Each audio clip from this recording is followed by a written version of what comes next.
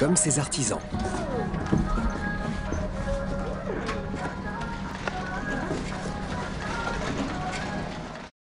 La Mountain 241 P16. Montez la locomotive française la plus légendaire. Le fascicule et les premières pièces, 50 centimes chez votre marchand de journaux. Altaïa. Torchman Metal, pour des portes blindées ultra sécurisées.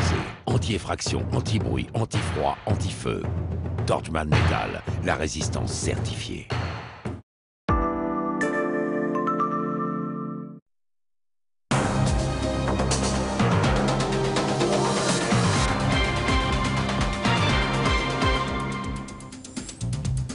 Bonjour et bienvenue si vous nous rejoignez dans le 12-15 sur LCI. Nous allons décrypter ensemble jusqu'à 15h l'actualité de ce vendredi 13 dont voici les titres.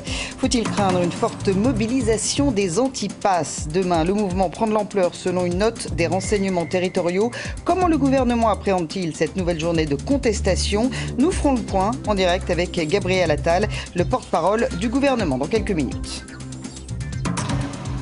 Renfort supplémentaire en direction de la Martinique. Une trentaine de soignants d'école aujourd'hui pour prêter main forte aux équipes médicales débordées par la flambée de Covid-19. Olivier Véran n'hésite pas à parler d'une situation sans commune mesure. Également dans l'actualité sur euh, le plan international, l'avancée tentaculaire des talibans qui contrôlent désormais la moitié des capitales provinciales du pays. Dernier bastion symbolique à être tombé aux mains des insurgés, Kandahar, la deuxième plus grande ville d'Afghanistan.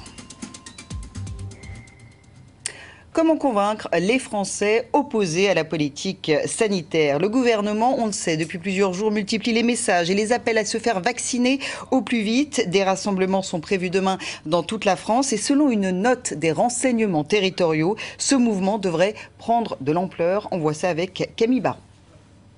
Contre le pass sanitaire, ils sont de plus en plus nombreux chaque samedi. 114 000 manifestants le 17 juillet pour la première mobilisation nationale, jusqu'à dépasser les 230 000 la semaine dernière. Selon nos informations, le mouvement devrait continuer à prendre de l'ampleur. 200 cortèges sont attendus demain, jusqu'à 250 000 personnes dans tout le pays. J'irai jusqu'au bout. Je ne peux pas concevoir que des personnes étrangères à ma santé puissent décider, décider pour moi-même. Je vois bien que les pouvoirs en place se fichent pas mal de nos manifestations mais en même temps, c'est tout ce qui nous reste. Pour ce nouveau week-end de manifestation, trois rassemblements sont prévus à Paris avec 12 à 20 000 personnes. Plusieurs villes se préparent aussi à des milliers de manifestants, surtout dans le sud. Toulon, Montpellier, Nice, Marseille et Perpignan. Une mobilisation qui pourrait s'expliquer par le retour des restrictions sanitaires dans ces territoires. Comme les semaines précédentes, les cortèges devraient être hétérogènes. Des jeunes, des familles inquiètes pour leurs enfants et quelques gilets jaunes. Je suis père de famille et je veux garder la liberté euh, de protéger mon enfant vis-à-vis de ce vaccin. Je suis là en qualité de fonctionnaire, en qualité de maman et en qualité de jeune parce que j'ai aussi 26 ans et j'aimerais pouvoir continuer à profiter de la vie. Ces rassemblements devraient se dérouler dans le calme, même si les autorités surveillent le risque de débordement, à Nantes ou Marseille notamment. Alors, cette fameuse note des renseignements territoriaux, on va en parler avec vous, Tiffaine Pioget, bonjour. Cette note donne des précisions sur le profil des manifestants. On en sait un peu plus. Hein. Oui, on en sait un peu plus. Alors, ils seront de plus en plus nombreux, ça on l'a vu dans le sujet de Camille Baron. Euh, ce que l'on sait également, c'est qu'ils seront les mêmes que les dernières semaines, c'est-à-dire qu'on sera sur un profil de dit modéré, euh, c'est-à-dire qu'on est beaucoup euh, dans la rue avec des vaccinés qui sont anti-pass sanitaire, mais pas anti-vaccin, pas euh, complotiste. C'est en tout cas euh, ce qui ressort de cette note des renseignements territoriaux. Euh, on apprend également qu'il y aura quelques gilets jaunes, des familles, et, c'est important de le rappeler, il n'y aura pas de, violence. En tout cas, on en craint très peu. Alors le dispositif policier est toujours très adapté, mais et depuis le début du mouvement, c'est le cas. Les manifestants ne veulent pas de violence et ils se félicitent de cette absence de heurts justement pour ne pas décrédibiliser leur mouvement. Voilà ce qu'il fallait retenir. Merci beaucoup, Tiffaine, de cette note des euh, renseignements territoriaux. Les forces de l'ordre seront forcément mobilisées pour limiter les débordements dans les cortèges. Euh, nous allons en parler avec Jérôme Moisan. Merci beaucoup d'être avec nous en direct. Vous êtes secrétaire national du syndicat Unité SGP Police FO. Samedi dernier, quelques 3000 policiers et gendarmes étaient mobilisés pour sécuriser les rues de la capitale. Avez-vous prévu des effectifs supplémentaires? Il semble qu'on soit à peu près dans la même situation. Alors il y a certaines, certains réglages qui interviendront en soirée, notamment sur la plaque francilienne, mais on est à peu près dans le même ordre d'idée. Alors, même si la note des renseignements territoriaux, c'est ce que nous disait euh, Tiffen il y a quelques instants, ne prévoit pas de débordement de violence, en tous les cas euh, d'intervention de groupes extrêmes dans les cortèges, est-ce que vous, vous craignez tout de même une radicalisation de certains manifestants? Euh, peut-être pas à l'occasion de ce mois d'août. Euh, on pense que la constitution des cortèges va rester à peu près la même. C'est vrai qu'on y a euh, remarqué assez peu de groupes radicaux.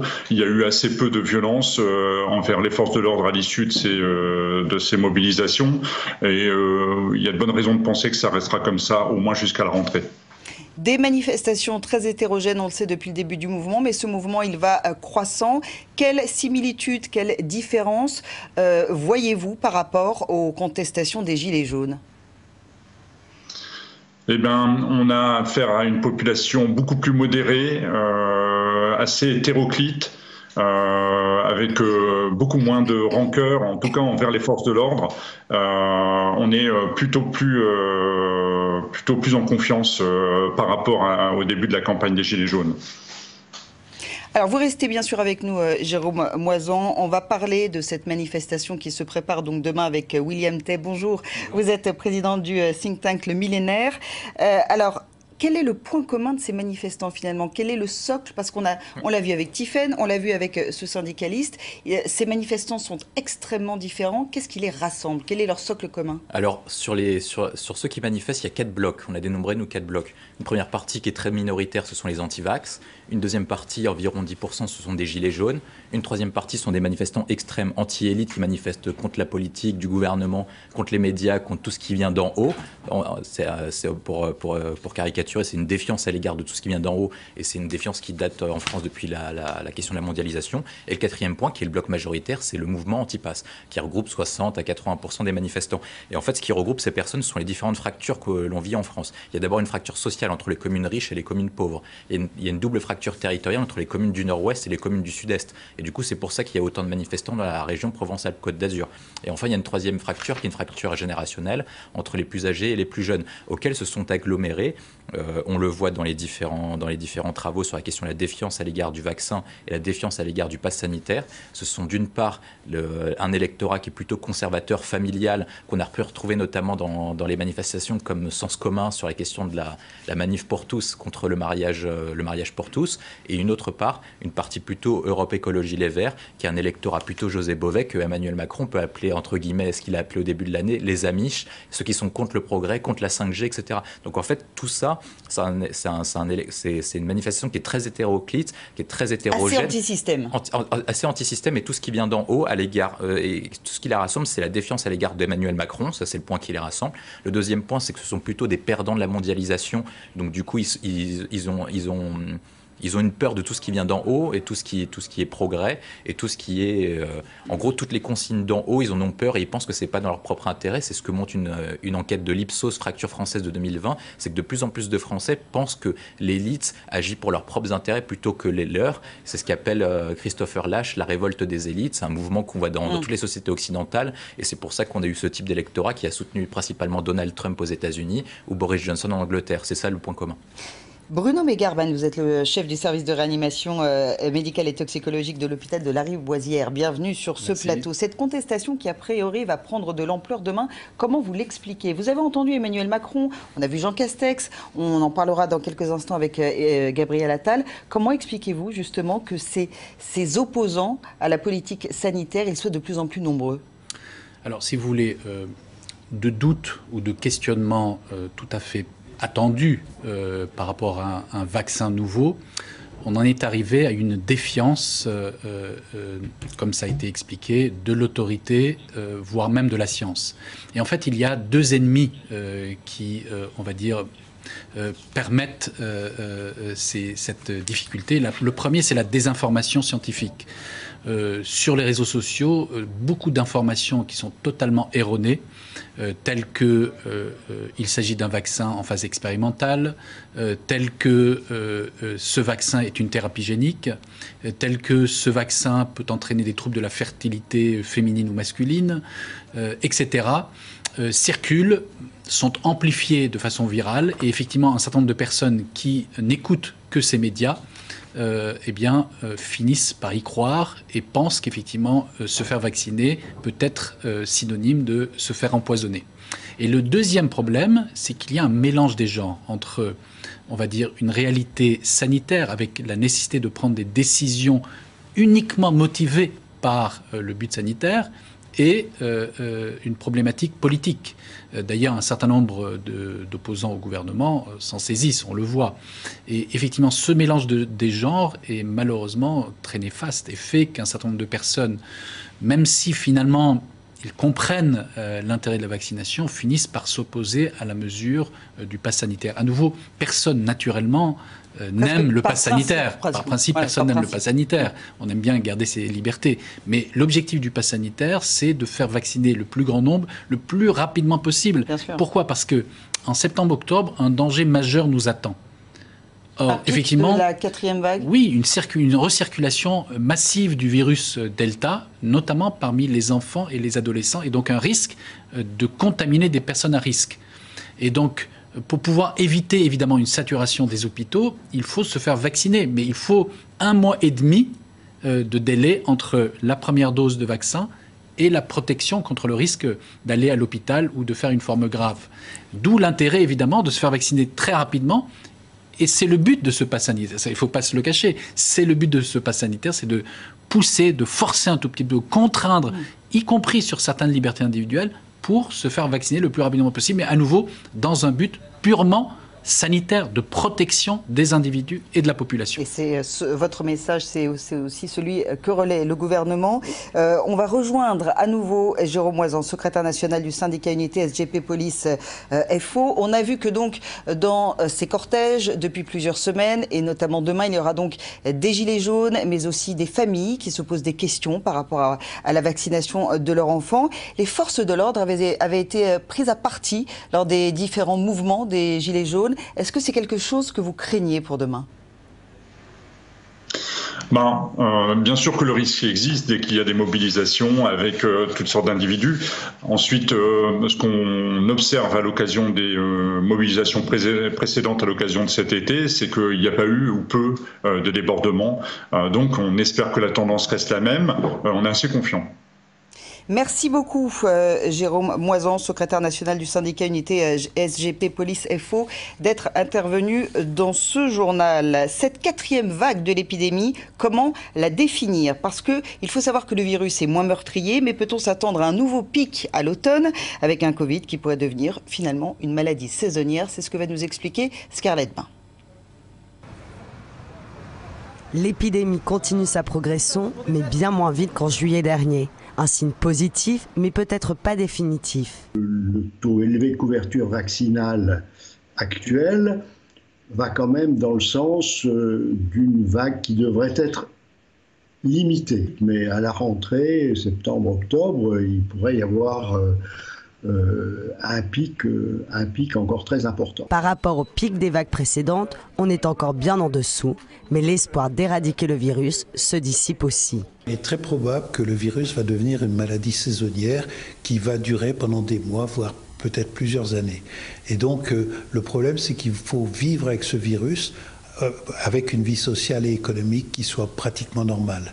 La seule façon d'y arriver est de vacciner l'ensemble de la population. Le nombre des hospitalisations approche les 10 000, mais le nombre de décès reste, lui, bas et stable, une cinquantaine par jour. Et puis cette inquiétude qui nous vient des équipes médicales de Nice, des nourrissons hospitalisés, détectés positifs au Covid-19. L'hôpital dénombre une dizaine de bébés, parfois d'à peine quelques semaines, admis dans un état fébrile. Comment expliquer la progression du virus chez les enfants en bas âge, Bruno Mégarban, et notamment dans le sud de la France? Alors en fait, euh, euh, les enfants euh, ont un risque d'être contaminés quasi équivalent aux adultes. Aujourd'hui, nous avons un virus extrêmement contagieux qui a tendance à contaminer surtout les personnes non vaccinées. Donc de fait, les enfants de moins de 12 ans, puisqu'ils ne sont pas vaccinés, ils ne peuvent pas être vaccinés, et les, les adolescents qui sont le moins vaccinés. Euh, donc de fait, le nombre euh, d'enfants ou d'adolescents euh, contaminés augmente. Et mathématiquement, eh bien, ceux qui vont présenter des formes graves augmentent également. C'est pourquoi, évidemment, on pourrait observer un nombre plus important d'hospitalisation euh, en médecine conventionnelle, en service de pédiatrie, mais aussi en réanimation, d'enfants qui présentent des formes graves de la maladie. Et justement, chez les nourrissons, le virus est-il particulièrement virulent ou ça se manifeste uniquement par un peu de fièvre, un peu de tout Non, le, le virus n'a pas plus de virulence à l'échelle d'un individu. C'est-à-dire, si vous êtes contaminé, vous n'avez pas plus de risque de faire une forme grave versus une forme mineure. Chez les enfants, les adolescents et les nouveau-nés, le virus est beaucoup moins dangereux que chez l'adulte. Malgré tout, dans, des cas plus rares, il peut donner des complications. Et donc, effectivement, euh, dans la majorité des cas, il va donner une sorte de, de grippe un peu cognée avec de la fièvre, euh, des cris, des pleurs de l'enfant. Et pas des, risques sérieux pour la santé. Dans, dans, des cas beaucoup plus rares, il peut donner des risques plus sérieux, avec notamment une atteinte respiratoire. Donc on pourrait voir des nouveau-nés ou des enfants se retrouver en réanimation, nécessiter de l'oxygène, voire même peut-être une ventilation euh, artificielle. Euh, ça sera toujours des cas rares, mais ces cas vont augmenter en raison, mathématiquement, de l'augmentation euh, du nombre de contaminations parmi les enfants. On estime que au cours de la reprise épidémique de septembre-octobre, 50% des personnes contaminées seront des enfants ou des adolescents.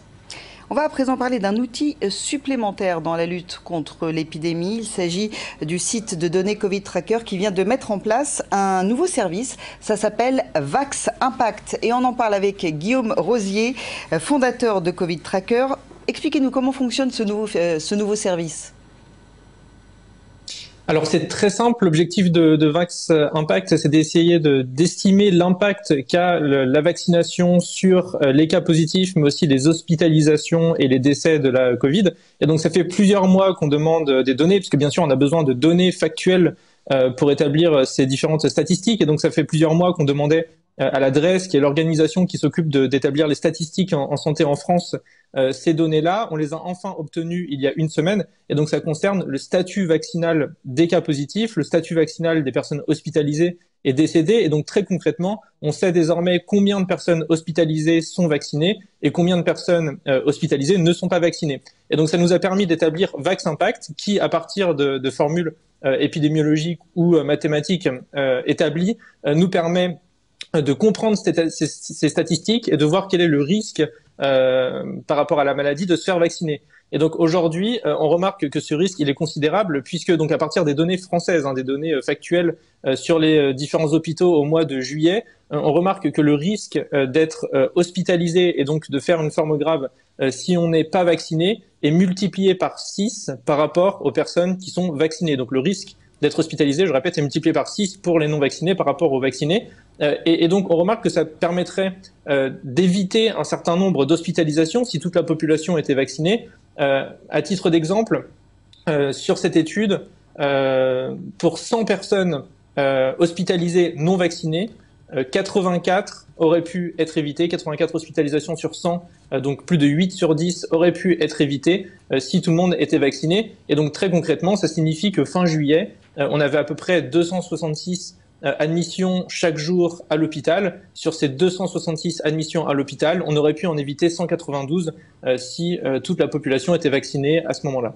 Alors un nouvel rythme, pardon, vous venez de nous l'expliquer, qui prouve qu'il y a un lien entre vaccination et hospitalisation. Est-ce que vous auriez un message à délivrer justement aux personnes qui continuent d'être réticentes au pass sanitaire, mais aussi à la vaccination? Le message, euh, il est très clair. Hein, je pense c'est rendez-vous sur vaximpact, vaximpact.fr. Euh, Donc, hein, je, rappelle, c'est un outil qui est, euh, gratuit et qui est à but non lucratif. et donc, qui permet vraiment de comprendre ces différentes statistiques et d'essayer d'évaluer le bénéfice individuel euh, de la vaccination. Et donc on se rend très bien compte que ça permet d'éviter des formes graves, d'éviter d'aller à l'hôpital, euh, d'éviter de décéder de la maladie, et ça permet aussi d'éviter des contaminations, euh, d'éviter un certain nombre de, contaminations et de symptômes. Donc vraiment, je demande à, à, toutes, à toutes les personnes qui seraient réticentes d'aller sur, sur l'outil. On travaille, on, on, demande désormais à l'adresse de nous donner ces, ces, ces données par tranche d'âge. Ça permettrait en plus d'évaluer euh, le bénéfice de la vaccination, y compris chez, chez dans les tranches d'âge où c'est un peu moins évident, euh, notamment chez les jeunes qui font euh, moins de formes graves. Et donc j'espère qu'on pourra proposer ces statistiques très vite dans les prochains jours ou les prochaines semaines. Et puis évidemment, l'illustration de ce lien avéré entre vaccination et hospitalisation, il s'illustre avec la situation dramatique, tragique qui se déroule dans les Antilles. Là aussi, finalement, c'est peut-être une preuve euh, que euh, le lien est avéré et que de toute façon, il n'y a pas d'autre solution que celle de se faire vacciner. Oui, en tout cas, il y a une, une corrélation euh, très très forte. Euh, on remarque que dans les Antilles notamment, dans les dom qui sont très peu vaccinés, euh, avec un taux de vaccination euh, complet autour de 17 à 18 dans ces territoires, euh, contre 50 à 60 ailleurs en France et notamment en, en métropole. on remarque que le lien entre les cas positifs et les hospitalisations ou le lien entre les cas positifs et les décès a été très fortement réduit en métropole. C'est-à-dire qu'il faut beaucoup plus de contamination euh, pour arriver au même nombre de formes graves, au même nombre d'hospitalisations ou au même nombre de décès, euh, grâce en grande partie euh, probablement à la vaccination.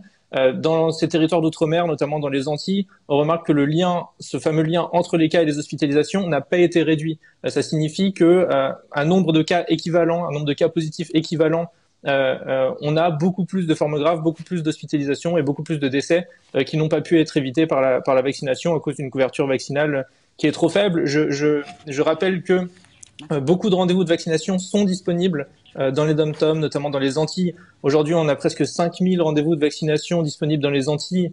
Euh, et pour les prochaines heures, les prochains jours à très court terme. Donc c'est pas un problème logistique, euh, c'est pas un, problème lié au, au, stock de doses euh, ou, à ou, au personnel de santé qui serait pas suffisamment nombreux pour vacciner. On a ces doses, la logistique est en place. Euh, et donc voilà, donc j'incite toutes les personnes qui souhaitent se faire vacciner dans ces départements et territoires euh, à aller sur les plateformes, notamment Vitmados, qui permettent de trouver un rendez-vous très facilement et très rapidement dans ces territoires. Merci Guillaume Rosier pour cet éclairage. L'actualité internationale avec cette offensive éclair des talibans en Afghanistan. Huit jours, les insurgés se sont emparés de la moitié des capitales euh, provinciales et c'est désormais Kandahar, la deuxième plus grande ville du pays, qui vient de tomber. On voit ça avec Florent Ferraud.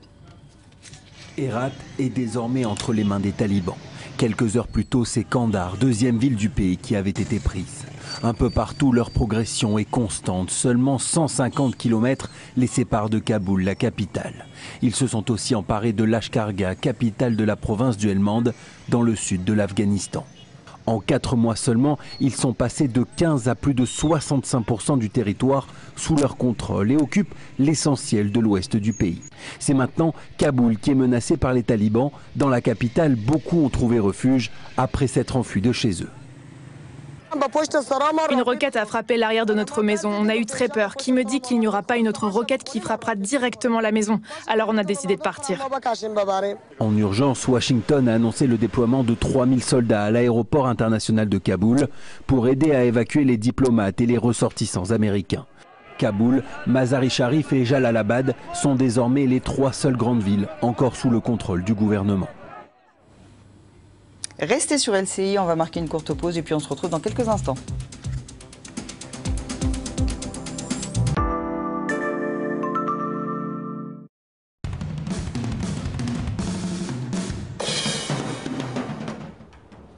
Happy Meal pour les enfants et ceux qui le sont restés.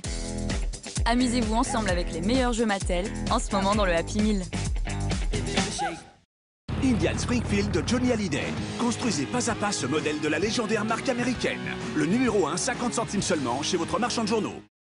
Infaillible, incorruptible, indestructible. Le flic parfait. Robocop est de retour. Construisez le légendaire Cyborg. Une spectaculaire réplique de grande taille, entièrement articulée et accompagnée d'informations détaillées. Le fascicule et les premières pièces, 50 centimes chez votre marchand de journaux. Altaïa.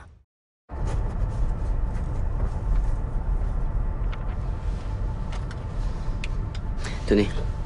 Ah, merci. Mesdames et messieurs, notre train TGV Inouï a franchi les 300 km/h. Et d'ailleurs, la vitesse, c'est très facile à calculer. C'est la distance divisée par le temps. Et l'énergie cinétique, c'est 1 demi de mv2. Allez, bonne journée. Et merde. TGV Inouï, voyagez avec votre temps. Cet été, je veux juste me détendre. Ok, me détendre et peut-être courir. Mais surtout me détendre. Et courir. Et me remettre à nager. Donc me détendre, courir, nager et, grimper au sommet d'une montagne géante. Me détendre, courir, nager, grimper et renverser un gros pneu tracteur. Ok, me détendre, courir, nager, gravir une montagne, renverser des pneus et devenir ceinture noire de taekwondo. Bon, tu vas toujours te détendre?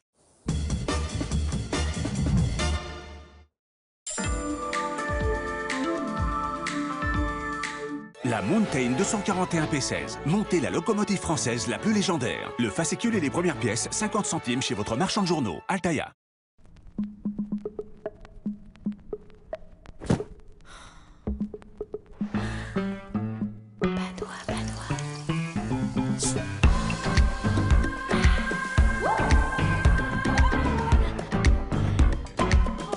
Padois bulle de fruits, le plaisir tout en fine bulle de fruits. Ah cool, les nouvelles tourtelles twist bio Avec 20% de jus de fruits en plus Comment ils font si les bouteilles ont la même taille?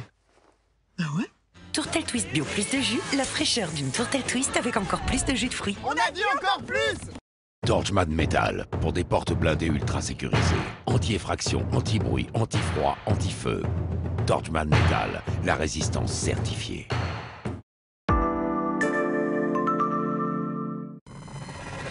18h, 20h, l'actualité va vite, trop vite parfois. Arrêtez-vous, arrêtons-nous tous les soirs sur LCI. La pédagogie, les faits, rien que les faits avec nos journalistes, le débat d'idées, même celles qui fâchent avec nos invités, et à 19h30, les partis pris des grands éditorialistes de la chaîne. Vous allez vous faire votre opinion.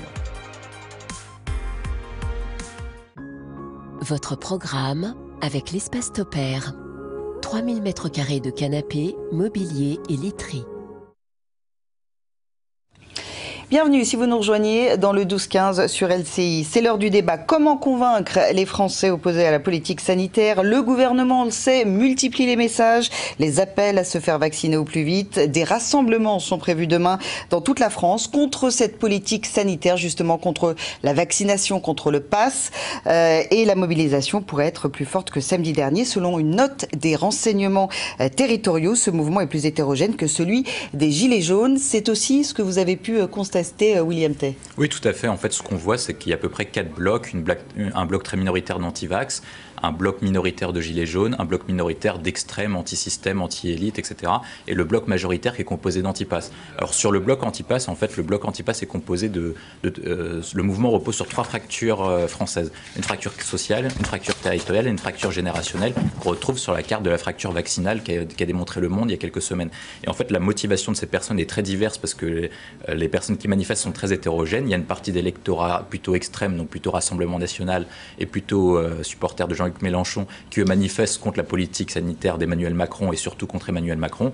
Il y a un bloc qui est plutôt conservateur qu'on a pu retrouver, c'est plutôt les familles qui s'inquiètent en fait depuis que Jean-Michel Blanquer a annoncé le protocole sanitaire dans les écoles et qui sont venus dans, qui sont venus dans les cortèges en raison, euh, en raison de ce point-là parce qu'ils ont peur de la vaccination pour leurs enfants. C'est un électorat, ce sont des personnes qui sont plutôt, euh, qui sont qui ont plutôt manifesté sur la manif pour tous contre le mariage homosexuel. Il y a enfin un quatrième bloc qui est plutôt un électorat plutôt Europe Oculaire Gilets Verts que- qu'Emmanuel Macron a appelé les Amish, qui sont contre le progrès, qui, sont, qui, ont, qui, ont, notamment manifesté contre la 5G. Et en fait, ils voient le vaccin comme un produit à la fois capitaliste et aussi une méthode non naturelle de soins, et en plus un produit qui vient d'en haut. Et donc, ce sont des personnes qui sont plutôt mises en marge de la société. C'est ce que la Fondation Jean Jaurès appelle les néo-ruraux, qui sont en rupture avec le mode de consommation euh, de la société dans laquelle nous vivons. Donc, en fait, la difficulté pour le gouvernement, c'est qu'en fait, il fait face au même risque que lors des Gilets jaunes. Il n'y a pas un seul message comme un syndicat qui manifeste uniquement pour une seule raison contre le retrait de l'âge pivot, etc.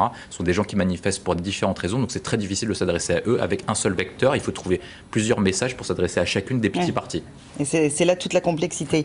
Euh, Lucas euh, Zajdela, vous, faites partie du service euh, politique euh, d'LCI. Alors, il- on, on l'a vu, hein, euh, finalement, ce sont des manifestants très différents, au profil très différent, qui vont défiler. Finalement, c'est très difficile de mettre sur cette contestation, de mettre cette contestation sous une même bannière politique. Oui, effectivement. Et d'ailleurs, on voit que la stratégie du gouvernement, pour l'instant, elle consiste à, clairement faire un distinguo entre, euh, d'une part, une minorité de, manifestants, ceux qui sont les plus durs et qui sont dans la rue et qui sont euh, presque impossibles à convaincre, euh, des, personnes qui sont irrationnelles, dit ce matin Brigitte Bourguignon dans une, interview à, La Voix du Nord, la secrétaire d'État à l'autonomie. Gabriel Attal, dans un long échange ce matin chez nos confrères de Corse Matin, fait aussi ce distinguo entre ceux qui sont fâchés et fâchés parfois avec des, arguments presque irrationnels, et ceux qui sont inquiets. Ceux qui sont inquiets, ce sont ces, ces, Français qui se posent encore des questions, qui sont inquiets sur le vaccin, mais que l'on peut convaincre, que l'on peut encore rassurer. Pour l'autre partie, ceux qui de toute façon ne voudront pas entendre parler du vaccin, pour l'instant, le gouvernement fait le pari de ne pas trop leur donner d'importance, de ne pas trop insister, de ne pas les braquer non plus pour ne pas euh, souffler, mettre de l'huile sur le feu. Mais pour l'instant, euh, la réponse va surtout vers les gens qui sont encore inquiets et que l'on peut encore convaincre d'aller se faire vacciner. Mais ce mouvement, il vise la verticalité du pouvoir et surtout, tout est concentré sur euh, la personnalité d'Emmanuel Macron qui incarne cette défiance. Effectivement, c'est une évolution qu'on voit de plus en plus dans, le mouvement ces dernières semaines. On va, pardonnez-moi Lucas, on va en reparler dans quelques instants puisque nous allons rejoindre Gabriel Attal en direct d'Ajaccio, le porte-parole du gouvernement. Merci euh, de réagir dans le 12-15 d'LCI. Le gouvernement, nous le disions, à l'offensive euh, face à la reprise de l'épidémie. La crise n'est pas derrière nous, a rappelé euh, Emmanuel Macron. La seule alarme reste la vaccination. Alors, on sent bien, hein, Gabriel Attal, la, volonté de l'exécutif de convaincre les plus réticents. Pourtant, il y a cette note des renseignements territoriaux qui indique que demain, ces manifestants opposés à votre politique seront plus nombreux. Comment l'expliquez-vous?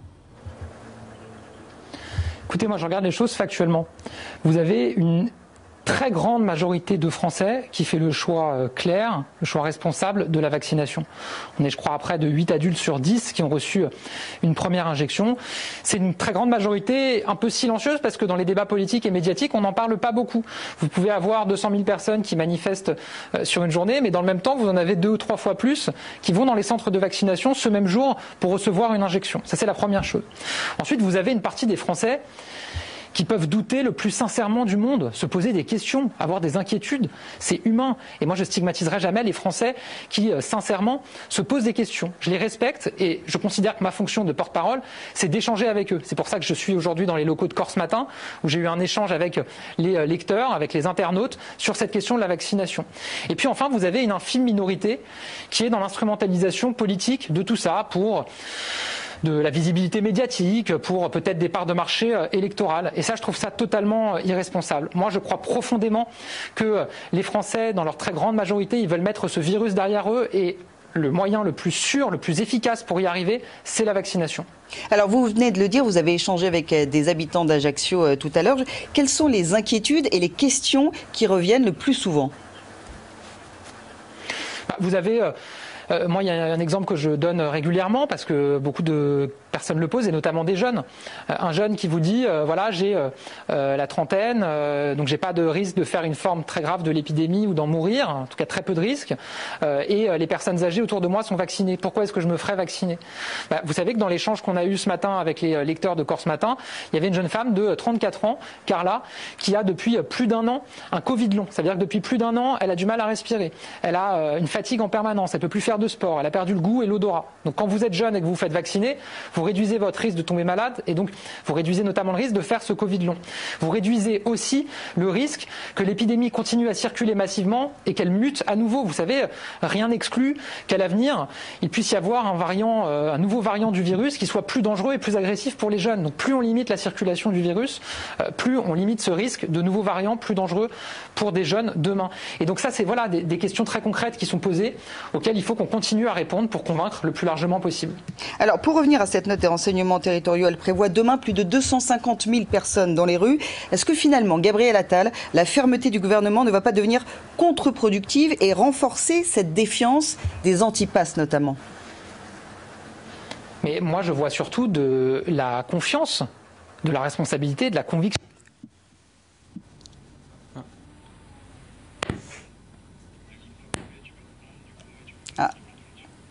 Petite, euh, un petit problème de son au niveau de la liaison. Ah, On vous entend à nouveau, Gabriel Pardonnez-nous, la liaison a été interrompue le temps de quelques secondes. Oui, voilà, pardonnez-moi. Vous, vous disiez qu'il était finalement plus question de... Oui, je vous entends très bien, merci. Euh, vous disiez qu'il était plus question de, de confiance que de défiance. Oui, ce que je disais, c'est que depuis le début de la campagne de vaccination, on a fait ce choix de la confiance et de la pédagogie au début de la campagne de vaccination, j'ai le souvenir que certains nous disaient mais euh, pourquoi vous rendez pas le vaccin obligatoire? Si on avait rendu le vaccin obligatoire à l'époque, je suis pas sûr qu'on aurait le niveau de vaccination qu'on connaît aujourd'hui. À l'époque, il y avait plus de 60% des Français qui ne souhaitaient pas se faire vacciner. Aujourd'hui, vous avez 8 adultes sur 10 qui ont reçu une première injection sans avoir rendu le vaccin obligatoire, mais parce que on a fait tout ce travail de pédagogie, de conviction, de confiance. Il y a aussi une part d'incitation maintenant avec le pass sanitaire, c'est certain, mais c'est comme ça qu'on veut continuer à avancer. Et je suis sûr que c'est ce qu'il y a de plus efficace. Une question de la part de Lucas Ajdela du service politique. Oui, bonjour Monsieur le Ministre. Dans les, questions que vous posez ce matin, euh, les lecteurs euh, de, de Corse Matin, il y avait beaucoup de questions sur les différents revirements euh, du gouvernement, sur le masque, sur le pass sanitaire que Emmanuel Macron avait promis qu'il ne serait jamais obligatoire pour aller dans les lieux de la vie quotidienne. Finalement, il le devient. Est-ce que, et, ça c'est un argument qui revient souvent dans les manifestations du samedi, c'est qu'il y a eu des revirements. Est-ce que vous pensez que le gouvernement a suffisamment expliqué, a suffisamment fait comprendre pourquoi il avait changé de de, position sur ces sujets-là On fait au mieux, je vais vous dire, moi, de manière très... On n'en fera jamais assez en termes de pédagogie, en termes d'explication et en termes de travail de conviction. Donc on va continuer à se déployer par tous les moyens possibles. Vous savez, les gouvernements du monde entier ils ont, été, ils ont pris cette épidémie de plein fouet aussi. Et moi, je crois profondément que la Covid-19, c'est finalement la fin du, de ce qui restait du mythe de l'omniscience en politique. On ne sait pas tout, on ne peut pas tout savoir. Quand vous avez un nouveau virus qui apparaît, qui en plus peut muter, que vous avez des avis scientifiques qui évoluent parce que les scientifiques aussi découvrent ce virus, bah forcément, il peut arriver que vous soyez amené à changer de recommandation, à changer d'avis sur un certain nombre de règles. Et moi, j'entends parfaitement que ça ait pu être perturbant pour les Français, que ça puisse parfois entamer la confiance vis-à-vis des scientifiques, vis-à-vis des décideurs publics. Mais je crois que dans finalement toutes ces incertitudes, on fait au mieux pour avancer avec toujours le cap de protéger nos concitoyens. Alors le gouvernement le, répète, et notamment Emmanuel Macron, la seule arme pour lutter contre l'épidémie, c'est le vaccin. Est-ce que finalement on n'y est pas dans cette vaccination obligatoire? Bah, En tout cas, il y a une incitation très forte à se faire vacciner, parce que le vaccin fonctionne. Le vaccin est sûr et efficace. Regardez ce qui se passe si vous comparez la situation en métropole, malheureusement, aux Antilles, dans nos territoires ultramarins. Vous avez un niveau de vaccination aux Antilles qui est malheureusement très faible, qui est d'à peine plus de 20%, et vous avez des hôpitaux qui sont parce qu'il y a beaucoup plus de personnes qui font des formes graves. En métropole, vous avez euh, un taux de vaccination qui est beaucoup plus élevé. Pour l'instant, même si les choses se tendent fortement dans les hôpitaux, notamment dans le sud, pour l'instant, on, arrive à accueillir et à soigner euh, euh, tout le monde dans de bonnes conditions. Donc voilà, l'impact de la vaccination, on le voit malheureusement très concrètement dans ces deux exemples. C'est pour ça qu'il faut continuer à se vacciner massivement. Vous parliez justement de la situation critique euh, dans les Antilles. La Guadeloupe et la Martinique qui ont entamé un confinement très strict. Olivier Véran est sur place. Il a parlé d'une situation, je le cite, hein, sans commune mesure. Cette flambée euh, outre-mer vous a-t-elle surprise? On a l'impression que le gouvernement a été un peu pris de court. On ne s'attendait pas à ce qu'il y ait autant euh, d'hôpitaux débordés, saturés. Vous savez, ça fait euh, depuis plusieurs mois maintenant qu'on suit de très près euh, la situation dans tous nos territoires ultramarins et notamment aux Antilles. Ça fait maintenant plusieurs semaines, de longues semaines, peut-être même plus d'un mois, un mois et demi, que le service de santé des armées a été déployé aux Antilles pour augmenter les capacités de réanimation. On a mobilisé aussi des moyens d'oxygène supplémentaires. On a élargi les capacités d'accueil à l'hôpital dans nos hôpitaux. Encore en début de semaine, on a fait venir 230 euh, professionnels de santé volontaires, soignants volontaires de métropole aux Antilles pour accueillir les malades. Malheureusement, on voit aujourd'hui aux Antilles deux choses. D'abord, un taux d'incidence qui est incroyablement élevé. 2000 pour 100 000 habitants en Guadeloupe, c'est du jamais vu sur aucun territoire de la République depuis le début de cette épidémie. Et de l'autre côté, vous avez une couverture vaccinale qui est très faible. Et donc Olivier Véran, hier sur place, a rappelé la nécessité absolue de se vacciner pour limiter le risque de forme grave et limiter la saturation de nos hôpitaux. Pour revenir à cette situation dans les Antilles, 22% environ hein, de primo-vaccinés euh, sur place. Euh, on sait que la population est réticente à se faire vacciner. Est-ce que vous diriez que le travail pédagogique a été suffisamment fait? Bah, À l'évidence, euh, quelque chose n'a pas fonctionné pour qu'on ait ce niveau de vaccination. Donc nous, depuis le début, l'État, les autorités sanitaires, on a mis en place la campagne de vaccination avec les doses en nombre, avec les centres de vaccination mis en place, avec les mêmes vaccins qu'en métropole, pour le proposer à toute la population. Je crois malheureusement qu'il y a eu aussi des prises de position euh, localement de certains qui euh, n'ont pas été euh, à la hauteur, qui ont peut-être miné aussi la confiance dans la vaccination. En tout cas, il faut continuer ce travail de conviction et c'est pour ça qu'Olivier Véran aussi était sur place hier.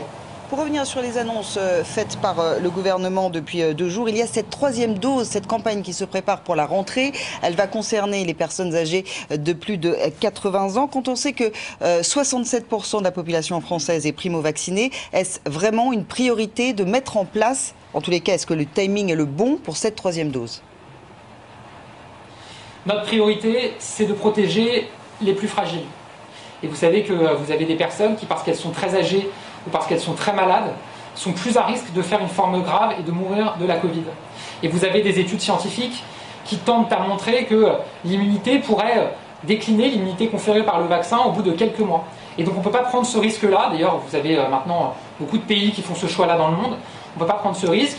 Et donc notamment pour un public très âgé, par exemple en maison de retraite ou très malade, il y aura effectivement cette campagne de rappel vaccinal qui sera euh, proposée les injections démarreront à la mi-septembre et la prise de rendez-vous démarrera dès la fin août, début septembre. Il y a eu, euh, il y a eu un, tour de vis euh, il y a deux jours dans les euh, départements où le taux d'incidence dépasse les 200 pour 100 000 habitants. Est-ce qu'il faut s'attendre à, d'autres mesures de ce type dans d'autres départements à l'avenir, des, peut-être aller plus loin, des fermetures, des restrictions de déplacement Et si oui, quel sera le critère qui sera retenu? Est-ce que c'est encore le taux d'incidence? Est-ce que ce sera la saturation des hôpitaux? À partir de quel niveau faut-il s'attendre à des nouvelles mesures?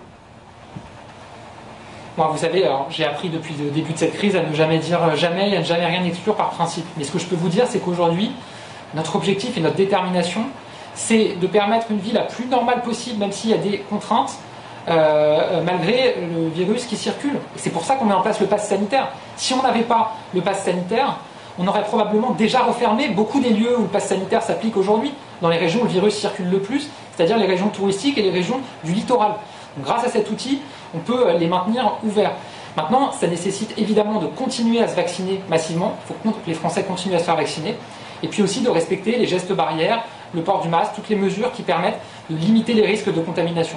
Je ne peux pas vous dire ce qu'il en sera pour l'avenir. On regarde la situation au quotidien, évidemment, euh, territoire par territoire. On regarde le niveau d'incidence, on regarde le taux d'occupation des réanimations. Vous avez aujourd'hui des réanimations des services hospitaliers qui sont parfois quasiment saturés dans certains territoires. Je suis ici en Corse, vous avez des évacuations sanitaires régulièrement de malades vers euh, la métropole parce que les hôpitaux sont surchargés. C'est pour ça qu'en Corse, il y a des mesures qui ont été prises par le préfet très tôt, notamment la fermeture des établissements recevant du public à 1h du matin. C'est limiter les foyers de contamination. Mais euh, voilà, il faut conserver cette vigilance absolue. Pour revenir à la situation de la Corse, alors on rappelle que quatre régions du sud de la France ont déclenché le plan blanc dans leurs hôpitaux. Euh, vous êtes donc à Ajaccio. Est-ce que sur place vous rencontrez euh, des opposants ce, au pass sanitaire? Et surtout, avez-vous l'impression qu'il faut des mesures supplémentaires? Est-ce que la situation est selon vous en train d'évoluer favorablement? J'en ai euh, rencontré ce matin, au moins virtuellement, puisque c'était l'objet de mon échange ici dans les locaux de Corse matin avec les lecteurs et vous en aviez euh, parmi eux qui étaient opposés à la vaccination et au pass sanitaire. Moi, je considère que ma responsabilité, c'est de les convaincre. J'échange aussi euh, beaucoup avec les professionnels. J'étais mardi à Nice à la rencontre des professionnels de l'hôtellerie et de la restauration. Vendredi dernier à Avignon, là aussi avec les professionnels de la restauration. Je sens, euh, oui, des inquiétudes face à cette contrainte supplémentaire et notamment l'inquiétude qu'elle pourrait avoir un impact sur leur chiffre d'affaires. Et moi, je veux saluer leur grand sens des responsabilités. Évidemment, tous ces professionnels, ils préfèrent rester ouverts, même si ça se fait avec un pass sanitaire. Et je leur ai rappelé l'engagement du président de la République, c'est qu'à la fin du mois d'août, point d'étape avec Bruno Le Maire et les secteurs concernés pour regarder s'il y a eu des pertes d'activité liées au pass sanitaire et évidemment en tirer toutes les conséquences en termes d'accompagnement euh, dans les semaines qui suivront. Merci Monsieur le Ministre, merci Gabriel Attal, porte-parole du gouvernement, d'avoir été euh, dans le, d'avoir réagi euh, dans le 12-15 d'LCI. On va faire un tour de table pour réagir à ce que vient de dire Gabriel Attal, une fermeté affichée, le porte-parole du gouvernement qui euh, réitère le message, qui le relaie le message d'Emmanuel Macron. Bruno Mégarban. Oui, tout à fait. Est-ce que c'est un discours en tous les cas qui vous a convaincu? Oui, tout à fait. En fait, euh, effectivement, nous faisons face à une euh, épidémie grave. Euh, on, on, en voit l'expression actuellement aux Antilles. Il y a une menace qui se dessine pour la rentrée en métropole. il faut donc tout faire pour vacciner le plus rapidement possible le plus grand nombre. et donc, effectivement, le pass sanitaire y contribue. Certes, c'est une mesure qui euh, réduit légèrement les libertés individuelles, mais en fait, c'est une mesure temporaire. Elle sera très probablement levée dès que le niveau de vaccination de la population euh, euh, permettra d'espérer un, contrôle de la circulation du virus.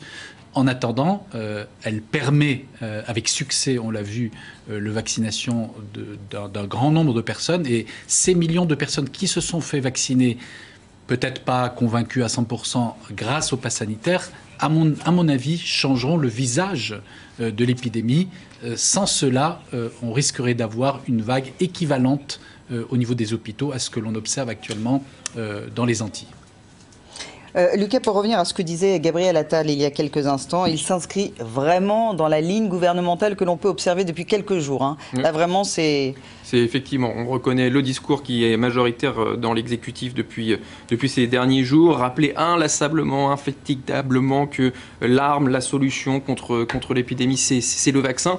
Et en ce sens, la, crise très sévère que subissent les Antilles actuellement sert presque d'argument à l'exécutif pour prouver que le vaccin est la solution la plus efficace pour lutter contre l'épidémie. S'il y a une telle flambée dans les Antilles, c'est bien parce que le taux de couverture vaccinale là-bas est beaucoup plus faible, trois fois plus faible qu'en métropole. Olivier Véran l'a rappelé hier quasiment euh, dans une forme de, coup, de, gueule presque. Euh, distinguer encore une fois ceux qui sont inquiets, qui ont des inquiétudes légitimes et ceux qui sont peut-être dans une opposition un peu plus systématique, un peu plus euh, politique, un peu plus frontale au gouvernement. Ceux-là ne, ne, veulent pas vraiment critiquer le vaccin ou le pass sanitaire, ils veulent surtout s'opposer à Emmanuel Macron. Et on a d'ailleurs vu dans les dernières semaines beaucoup de pancartes qui visaient euh, personnellement le chef de l'État. Ça, c'est un mouvement que le gouvernement sait qu'il aura beaucoup de mal à, canaliser, mais qu'il suit quand même avec une certaine inquiétude, hein, même si on ne veut pas dire que qu'on ne veut pas donner trop d'importance. Euh, en ce sens, la décision qu'a prise Emmanuel Macron de, de, supprimer le, contrôle technique pour les deux roues qui était passé euh, au journal officiel cette semaine. Parce que les Français n'ont pas besoin Parce que voilà, les Français n'ont pas envie d'être embêtés, surtout on comprend pour éviter toute coagulation possible des luttes et éviter d'avoir des motards qui viendraient se greffer avec des anti-vaccins et recréer une espèce de mouvement qui deviendrait incontrôlable et qui deviendrait euh, tellement protéiforme qu'on ne pourrait plus s'y adresser. William T, pour revenir à ce que disait Gabriel Attal il y a quelques instants, finalement, est-ce que le porte rôle du gouvernement ne, dit pas dans son message, n'annonce pas une vaccination obligatoire qui ne dit pas son nom? C'est une, obligation vaccinatoire de fait, en fait, depuis le discours du 12 juillet. En fait, ce que fait le gouvernement quand on regarde les, courbes Covid tracker sur la question de la vaccination, c'est qu'ils tiennent un discours qui est très très ferme au moment où le nombre de vaccinations commence à ralentir ou à baisser. Donc ils sont obligés de remettre un coup de collier. La difficulté, c'est qu'en fait, ils tiennent euh, deux objectifs contradictoires un objectif où ils sont obligés d'inciter à vacciner, donc ils doivent tenir un discours très ferme. Le pass sanitaire, on ne fera aucun assouplissement. Vous êtes obligés de vous faire vacciner. On ne remboursera plus les tests PCR. Donc si vous ne faites pas vacciner, en gros, vous aurez une vie impossible, une vie sociale, vous serez mort socialement. Et de l'autre côté, ils doivent en même temps montrer de, de l'empathie à l'égard des manifestants. Et ils le font hein, dans les actes de politique publique. Euh, Olivier Véran, dimanche dernier, a étendu le, le, test de 48 à 72 heures. Donc ils le font, mais la difficulté, c'est qu'en fait, il faut montrer de l'empathie envers. Et c'est pour ça que c'est deux objectifs contradictoires, parce que la fermeté est contre l'empathie et donc, du coup, ils doivent, je pense qu'ils ont une temporalité qui est différente ils savent, du coup, avec les notes qu'on a du renseignement territoriaux, que les manifestations seront plutôt calmes avec un niveau de mobilisation compris entre 200 000 et 300 000 jusqu'à fin août. Donc ils vont tenir ce discours pour euh, avoir un objectif de primo-vacciné de 50 millions de personnes pour avoir une couverture vaccinale de 75% de la population. Et ensuite, après, ils vont changer de speech éventuellement en fonction de l'évolution des manifestations, éventuellement pour voir si d'autres personnes vont s'agglomérer euh, aux manifs. Nous, on a dénombré quatre catégories qui peuvent s'agglomérer aux manifestations. Des professions particulières, comme on a déjà eu les soignants et les pompiers, qui ont profité en fait du pass, des revendications sur le pass sanitaire pour avoir des revendications politiques et sociales. Une deuxième catégorie qui sont les jeunes et les étudiants si on a le protocole sanitaire dans les écoles et dans les facs. Le troisième point, c'est les artisans commerçants qui sont la catégorie qui soutiennent le plus les manifestants. Et enfin, les familles qui ont peur pour leurs enfants et aussi les familles un peu catho-tradies qui, qui, manifestent pour le droit du corps, à, droit, droit à disposer librement de son corps, etc.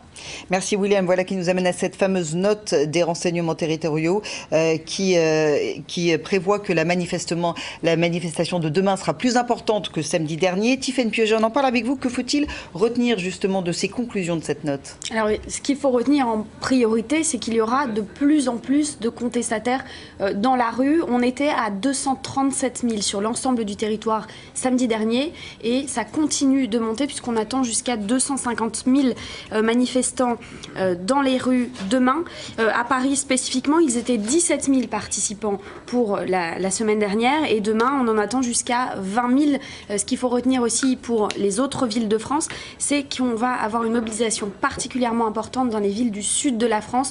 Marseille, Nice, Toulon, euh, Montpellier, Perpignan sont des villes qu'on va, va suivre. Nantes également, euh, qui traditionnellement a euh, une, une forte mobilisation de l'extrême gauche, même si jusqu'à présent il n'y a pas eu de violence particulière. Et ça m'amène également au profil de ces manifestants qui sont les mêmes que depuis plusieurs semaines. Des, ce, ce, que vous disiez finalement, ça va être des gilets jaunes, des, des vaccinés mais anti-pass sanitaire. C'est important de le rappeler. La plupart des manifestants à qui on parle nous disent nous, on est vaccinés, on n'est pas contre le vaccin, on est contre le pass sanitaire qu'ils considèrent comme une perte de leur liberté. et également, dernier point important de cette note, c'est qu'il n'y a pas de violence attendue.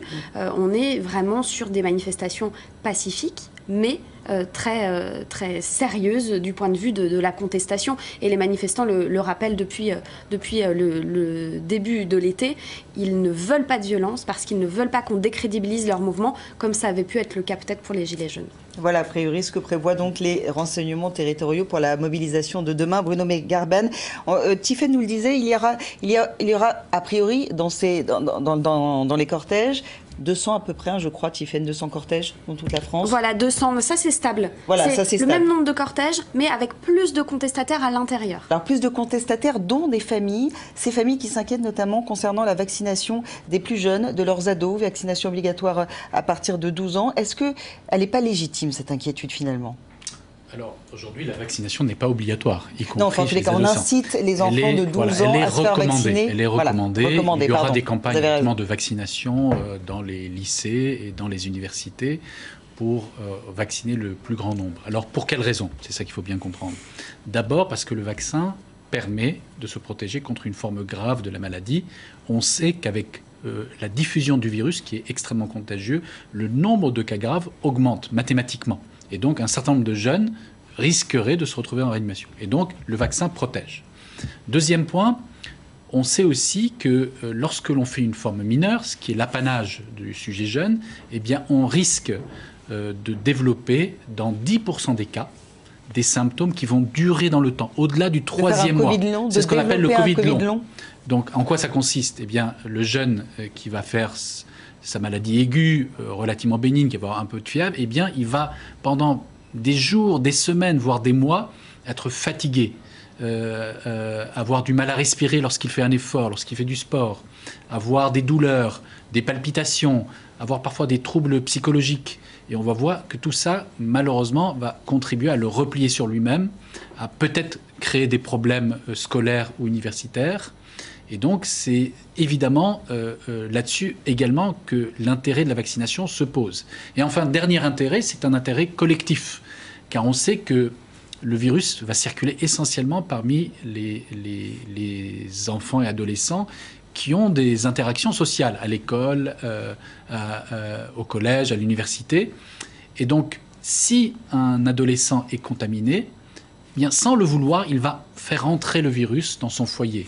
Où là, malheureusement, car on sait qu'il existe encore à peu près 3 millions de personnes à risque non vaccinées du tout, eh bien, sans le vouloir, il va être le vecteur de la transmission du virus euh, vers ces personnes qui sont, cette fois-ci, des parents à lui, c'est-à-dire ses, ses, propres parents, ses grands-parents, des oncles. Eh bien, ceux-ci risqueraient de se retrouver en réanimation. Et donc, je me mets à la place de cet adolescent, quelle, quelle difficulté psychologique il aura par la suite.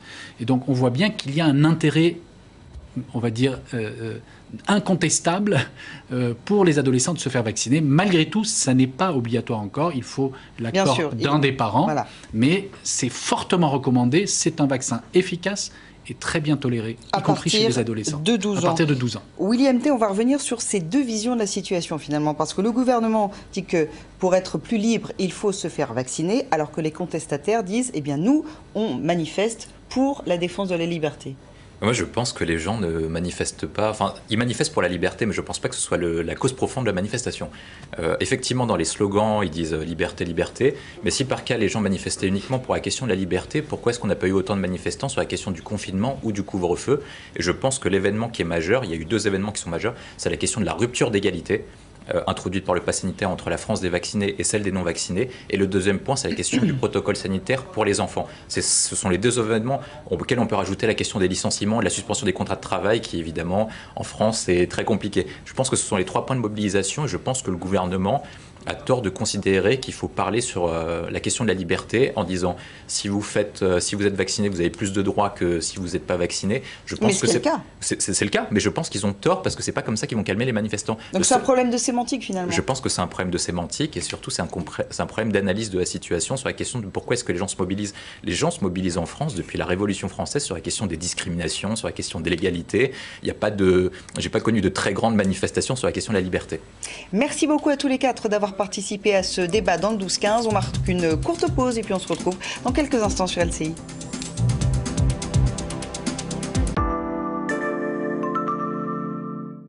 Chez De Giro, nous souhaitons rendre l'investissement accessible à tous ceux voulant bâtir leur propre avenir financier. Que vous investissiez activement ou suiviez les marchés passivement, notre plateforme primée est la vôtre.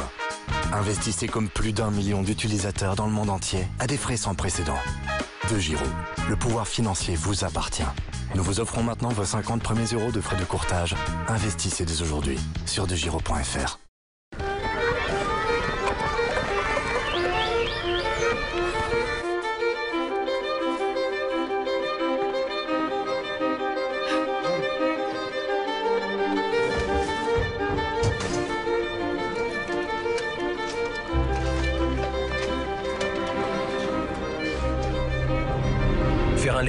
à la Fondation pour la recherche médicale peut sauver des milliers de vies demain. Appelez le 0805 216 216. Chez KFC, j'arrive pas à savoir s'ils mettent du croustillant autour de leur filet de poulet super tendre ou s'ils mettent des filets de poulet super tendres à l'intérieur du croustillant. Parce que ça, ça me. Enfin, je. Et je sais pas à qui demander.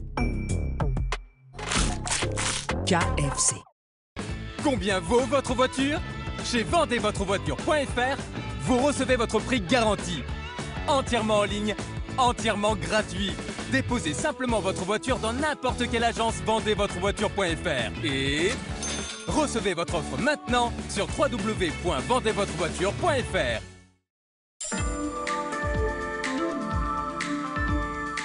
Ah cool, les nouvelles tourtelles Twist bio Avec 20% de jus de fruits en plus? Comment ils font si les bouteilles ont la même taille Tourtel Twist Bio plus de jus, la fraîcheur d'une tourtelle Twist avec encore plus de jus de fruits. On a dit encore plus Torchman Metal pour des portes blindées ultra sécurisées. Anti-effraction, anti-bruit, anti-froid, anti-feu. Torchman Metal, la résistance certifiée.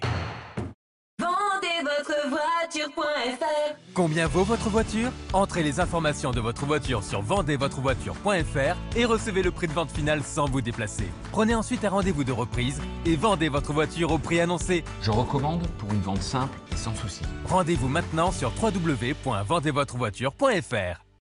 Un pare-brise fissuré? Faites comme mon client. Venez chez Carglass. On a plus de 150 000 pare-brise en stock. Alors bien sûr, le sien, on l'avait. Je lui ai remplacé, et comme toujours quand on remplace, sa voiture, il l'a retrouvée encore plus propre qu'avant. Et pour qu'elle le reste longtemps, en ce moment, Carglass vous offre un aspirateur de voiture développé par Noroto. Alors, prenez rendez-vous maintenant sur carglass.fr et tapez bien .fr pour être sûr d'arriver chez nous. Répare, Carglass remplace. Cet été, je veux juste me détendre. Ok, me détendre et peut-être courir. Mais surtout me détendre. Et courir. Et me remettre à nager.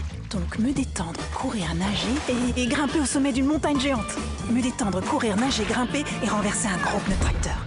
Ok, me détendre, courir, nager, gravir une montagne, renverser des pneus et devenir ceinture noire de taekwondo. Bon, tu vas toujours te détendre?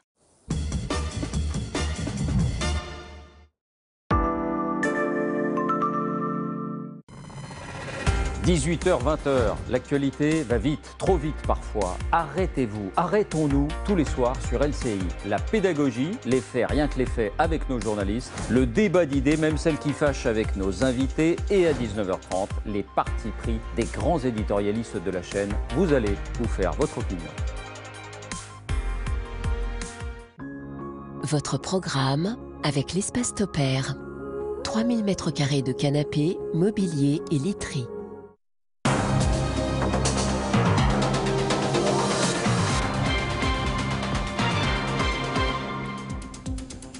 LCI Midi, bienvenue si vous nous rejoignez. Les titres de l'actualité. Faut-il craindre une forte mobilisation des antipasses demain? Le mouvement prend de l'ampleur selon une note des renseignements territoriaux. Comment le gouvernement appréhende-t-il cette nouvelle journée de contestation? C'est ce que nous verrons dans quelques instants.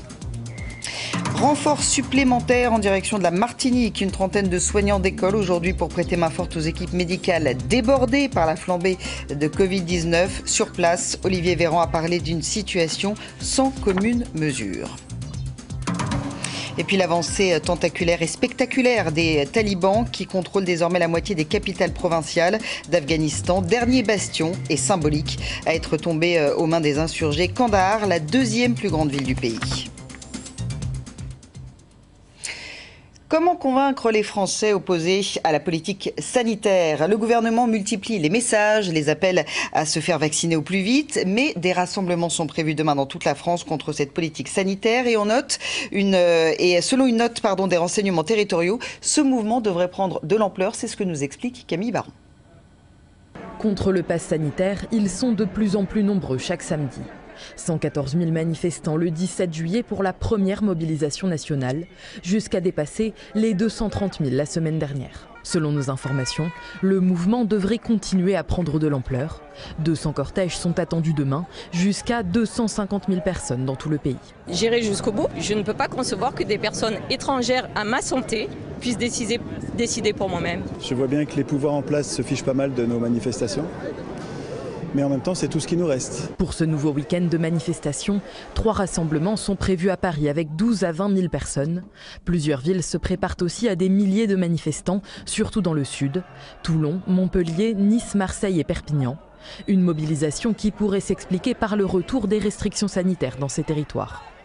Comme les semaines précédentes, les cortèges devraient être hétérogènes.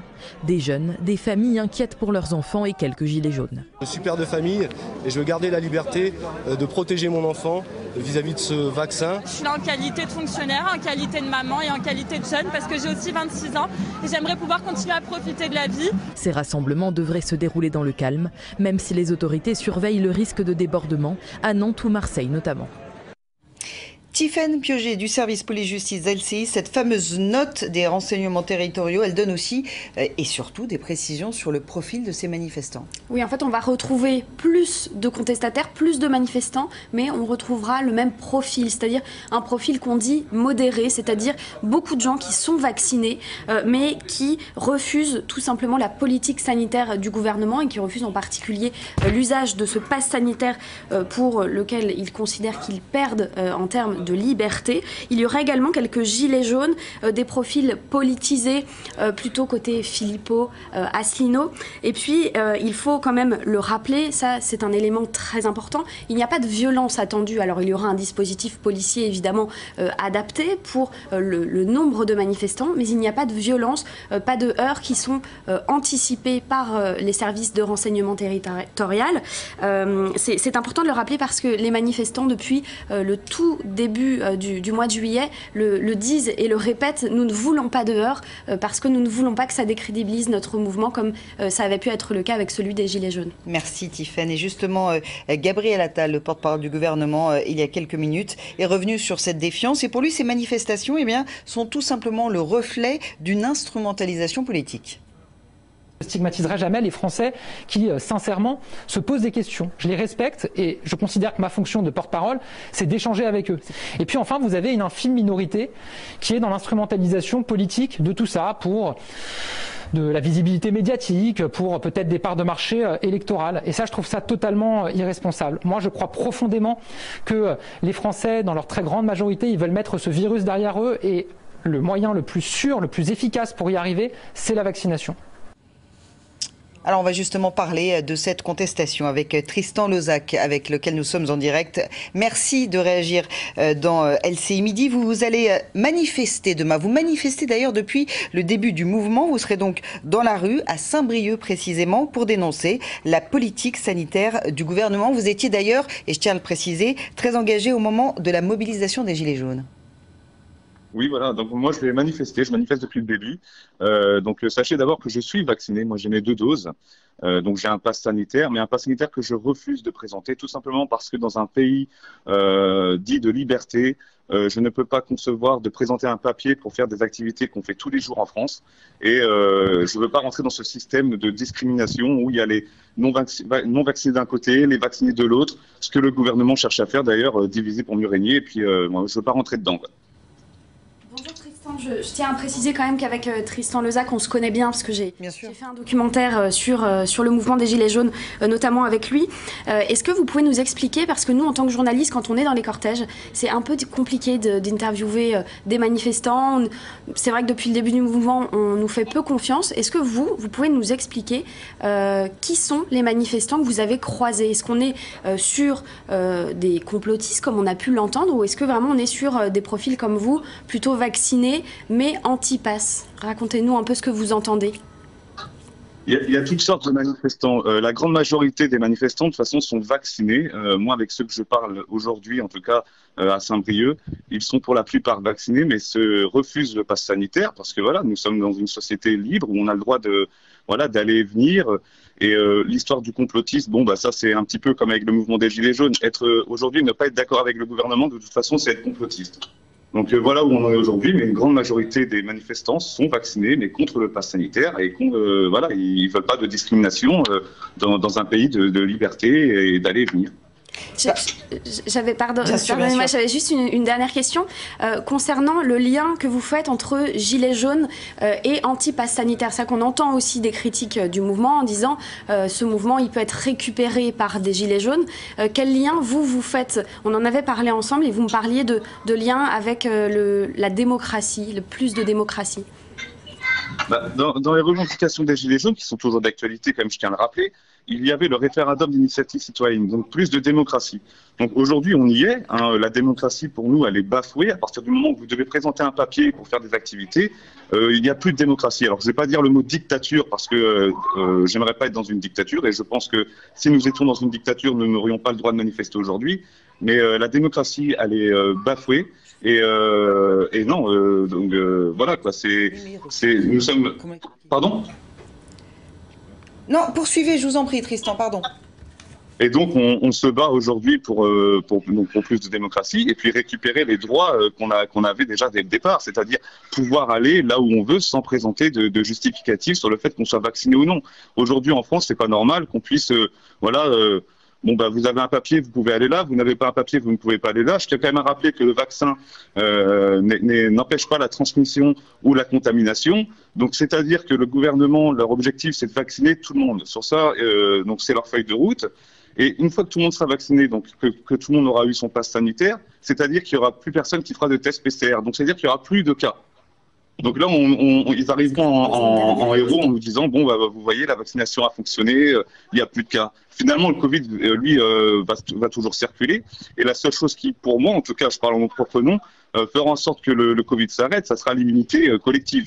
Parce que la vaccination, je, je le répète, n'empêche pas la transmission et n'empêche pas la contamination, empêche seulement les formes graves. C'est tout. Apparemment. J'ai menti, j'avais une, autre question euh, pour vous, Tristan. Euh, le gouvernement dit, au contraire, euh, c'est donner plus de liberté pour les personnes vaccinées. Alors on comprend bien que pour vous, c'est absolument l'inverse. quelle serait pour vous la, bonne solution pour lutter contre cette épidémie que autre chose que le pass sanitaire, du coup? Mais déjà, la solution, c'est de laisser la liberté à chacun de se faire vacciner. Quand on nous dit que la vaccination n'est pas obligatoire, c'est faux. Parce que si, si vous ne vous faites pas vacciner, vous, enfin, socialement, vous êtes mort. Vous n'avez plus le droit de rien faire. Donc, euh, après, moi, j'ai pas toutes les clés en main pour dire qu'il faut faire comme ça, comme ça. Moi, je ne m'y connais pas. Hein. Je ne travaille pas dans, dans la santé. Mais euh, je pense que cette solution n'est pas bonne. Déjà, dès le départ, il y a eu un problème de communication du gouvernement Euh, je vais pas revenir hein, sur l'histoire des masques, sur l'histoire de bon bah le finalement le Covid va va pas arriver en France. Il y a eu dès le départ un manque de communication et du coup le peuple français, les gens n'ont plus confiance en ce qui se passe aujourd'hui. Et plus ça va, plus je, plus ça va, plus à mon avis il y aura plus de restrictions à nouveau parce qu'on nous annonce déjà que cet hiver ça va être une catastrophe. Donc ils le savent déjà finalement. Donc c'est voilà, c'est très compliqué. Et euh, je pense que l'histoire du pass sanitaire n'est pas la bonne solution, surtout pour, entre, en, pour les hôpitaux. Hein, en tant que patient, euh, pour des rendez-vous, vous n'avez pas le droit de rentrer dans les hôpitaux si vous n'avez pas un pass sanitaire. Dans les centres commerciaux, donc euh, là, ça va arriver. Hein, pour, je crois que c'est 200 cas pour 100 000 habitants. Il y aura besoin d'un pass sanitaire. Bah là, c'est pareil. Le, c'est pas normal qu'on en arrive là aujourd'hui. Et puis, je pense qu'il faut continuer à se battre pour pour dire non à ce pass sanitaire. Je ne suis pas anti-vaccin, preuve que je, parce que je me suis vacciné, mais ce, ce pass sanitaire n'est pas la bonne solution. Voilà, et vous irez manifester dans les rues de Saint-Brieuc. Merci beaucoup, Christian Lozac, d'avoir été en direct Merci. dans LCI Midi. Je me tourne vers vous, euh, William Tay, parce que c'est ce que Tristan Lozac nous disait. La plupart, finalement, les manifestants, euh, pour la plupart, seront vaccinés. Mais le problème, enfin, leur problème, ce qui leur pose problème, c'est de présenter ce fameux QR code. Est-ce qu'on n'est pas dans un paradoxe quand même? Alors sur ce point-là, euh, effectivement, vous signez un paradoxe, mais on- ce qu'on remarque aussi, c'est qu'il y a des cas de violence, notamment contre les restaurateurs, de personnes qui ont le pass sanitaire et qui refusent de le présenter et qui frappent le- la personne qui a souhaité le contrôler. Donc on est face à une polarisation du débat, une sorte de radicalité. C'est qu'en fait, il le pass sanitaire est vu comme l'instrument d'Emmanuel Macron. Et puis l'intervenant l'a rappelé, c'est qu'il a, ce qu'il reproche aussi à Emmanuel Macron, c'est la question de manque de franchise. Je pense que s'il avait dit clairement, bah, je veux faire une vaccination obligatoire, effectivement, il y aurait toujours eu des mobilisations d'anti-vax. Mais peut-être que ça aurait apparu comme un discours de plus de franchise et beaucoup plus direct. Ce qui reproche au gouvernement, notamment, c'est le fait d'avoir des aléas. C'est-à-dire que la vérité d'un jour n'est pas la vérité de l'autre semaine ou de l'autre mois. C'est-à-dire que pour l'instant, ils disent que le gouvernement, et c'est vrai, c'est prévu par la loi et par l'accord euh, en, en commission paritaire mixte entre l'Assemblée et le Sénat, c'est qu'il est temporaire jusqu'au 15 novembre. Seulement, ils n'y croient pas en fait au caractère temporaire et ils ont peur d'une installation durable dans le temps euh, d'un pass sanitaire parce que Il y a une perte de confiance Il y a une perte totale. de confiance parce que ce que dit Delfrécy notamment, c'est que Delfrécy dit que le- nous allons vivre avec le virus au moins jusqu'à 2023. Donc les gens ont peur en fait de vivre avec un pass sanitaire 2022 et 2023. Le Et professeur Delfrécy, président du Conseil président du scientifique. Conseil scientifique. Et ce qu'il a, ce qu'il a totalement rappelé, c'est qu'il y a une question de présenter un acte, un acte, un pass dans la liberté d'aller et venir. Ils sont, du coup, c'est une forme de contrainte. Et il y a aussi un autre point qu'il a souligné, c'est la question de la discrimination entre, celle, entre la France des vaccinés et celle des non vaccinés. Et c'est une cause mobilisatrice en France. On le sait depuis Tocqueville. Je ne sais pas pourquoi le gouvernement a voulu insister dessus, mais depuis Tocqueville, on sait qu'il y a une passion égalitaire en France, que ça, provoque des, mobilisations monstres. Et c'est ce qu'on a vu aussi pour la réforme des retraites. C'est que le- normalement, le gouvernement le sait. Il le sait sur la question de la réforme des retraites. Quand il a mis des discriminations sur une profession, vous aviez une autre profession qui est partie manifester pour exactement les mêmes droits. Et puis à la fin, vous avez une agglomération de toutes les professions. Moi, ce que je pense sur la question des manifestations, c'est qu'effectivement, le gouvernement n'a pas le choix au moins jusqu'à fin août parce que euh, son discours marche. Il y a beaucoup de gens qui se font se faire Je vais prendre une illustration, c'est que notamment en Seine-Saint-Denis, qui était le département qui était le plus en retard, aujourd'hui, la Seine-Saint-Denis a dépassé la moyenne nationale. Donc il faut tenir le même cap jusqu'à fin août et il faut que le gouvernement change de, style de communication à partir du début septembre. Sinon, moi, ce qui me fait peur, c'est qu'on ait 500 000, 800 000 manifestants à partir de septembre-octobre. Merci William. En tous les cas, pour le moment, euh, c'est la fermeté et le tour de vis sanitaire pour le gouvernement. Et une trentaine de soignants euh, ont, décollé pour les Antilles tout à l'heure, où la situation sanitaire est euh, sans commune mesure. Ce sont les mots du ministre de la Santé, Olivier Véran. Un chiffre, pour se donner une idée, un test PCR sur quatre est positif dans ces deux îles. On voit ça avec Florent Ferron. Confinement strict, renfort de soignants, l'exécutif prend toutes les mesures nécessaires pour ralentir l'épidémie aux Antilles. En Guadeloupe, le taux d'incidence frôle les 2000 cas pour 100 000 habitants. Un test PCR sur 4 est positif. Les services de réanimation sont saturés. La quatrième vague continue de déferler. Nous sommes confrontés à un, à un tsunami. Euh, la situation est extrêmement grave. 30 000 personnes sont porteuses de, de maladies chroniques. Toutes ces personnes auraient dû être vaccinées. On les retrouve avec des formes graves de la maladie. La bataille est perdue pour cette quatrième vague. Il faut que les gens se fassent vacciner pour pas qu'on ait à affronter une cinquième vague. Une accélération de l'épidémie due essentiellement au variant Delta et à un très faible taux de vaccination, même si ce dernier connaît une nette progression ces derniers jours. Nous enregistrons depuis quelques jours une accélération très forte des demandes de premières injections de vaccination en Martinique. Plus de 1000 vaccinations de primo-injections sont désormais réalisées. C'est 3 à 4 fois plus qu'il y a quelques jours, signe que l'état d'esprit général est déjà en train de changer. Pour faire face et soulager les hôpitaux antillais, plusieurs dizaines de lits de réanimation vont être ajoutés et des patients rapatriés en métropole. Bruno Megarban, on va revenir sur la situation extrêmement critique, explosive aux Antilles. Mais c'est aussi quelque part un argument pour le gouvernement de dire que, voyez, il n'y a seulement que 22% de la population qui est primo-vaccinée et finalement les, hôpitaux sont débordés. D'établir ce lien entre vaccination et hospitalisation. Oui, vous avez raison. En fait, aux Antilles, on observe une progression exponentielle euh, des cas de contamination, mais en face, la population est très peu vaccinée. Donc, de fait, les contaminations induisent notamment chez les personnes âgées et à risque, des formes graves qui les mènent à l'hôpital avec un capacitaire limité euh, dans une île loin des autres régions françaises, eh bien, euh, euh, malheureusement, c'est une catastrophe sanitaire immédiate. D'où le fait de devoir faire appel à l'armée, de devoir faire des transferts sanitaires, de devoir appeler à l'aide et au secours un certain nombre de soignants venant de métropole. Alors, sur la, sur la métropole, dans l'Hexagone, euh, un tel scénario, euh, heureusement pour nous, on l'espère en tout cas, ne se produira pas. Pourquoi?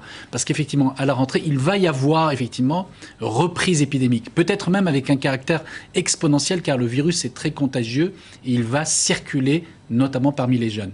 Mais en raison de la vaccination, il n'y aura pas de lien automatique entre contamination et forme hospitalière la vaccination va permettre de dissocier la progression des contaminations de la pression sur les hôpitaux.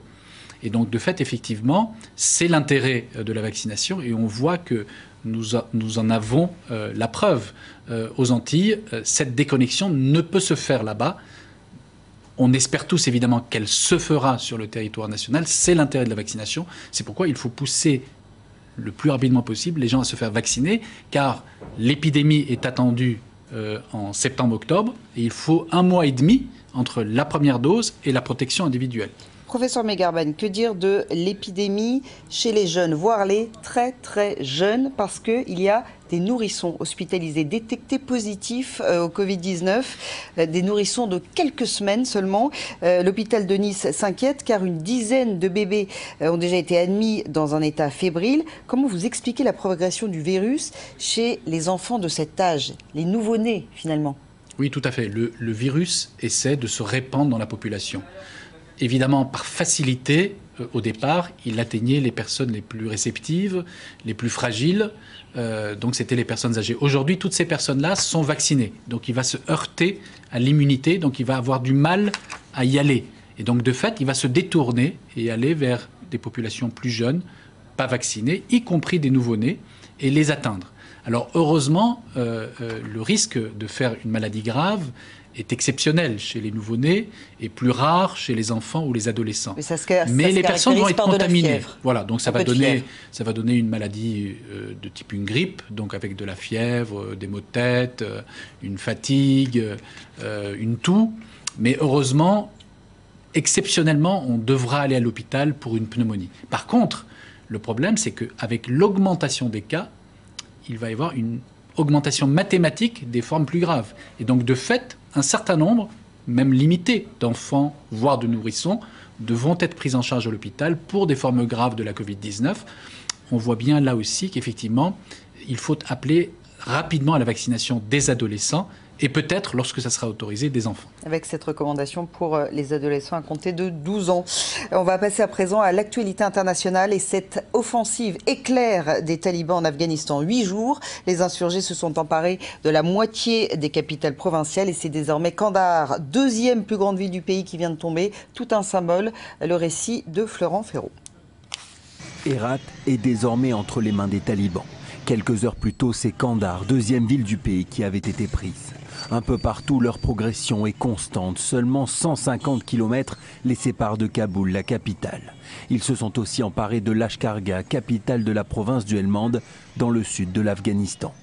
En quatre mois seulement, ils sont passés de 15 à plus de 65% du territoire sous leur contrôle et occupent l'essentiel de l'ouest du pays.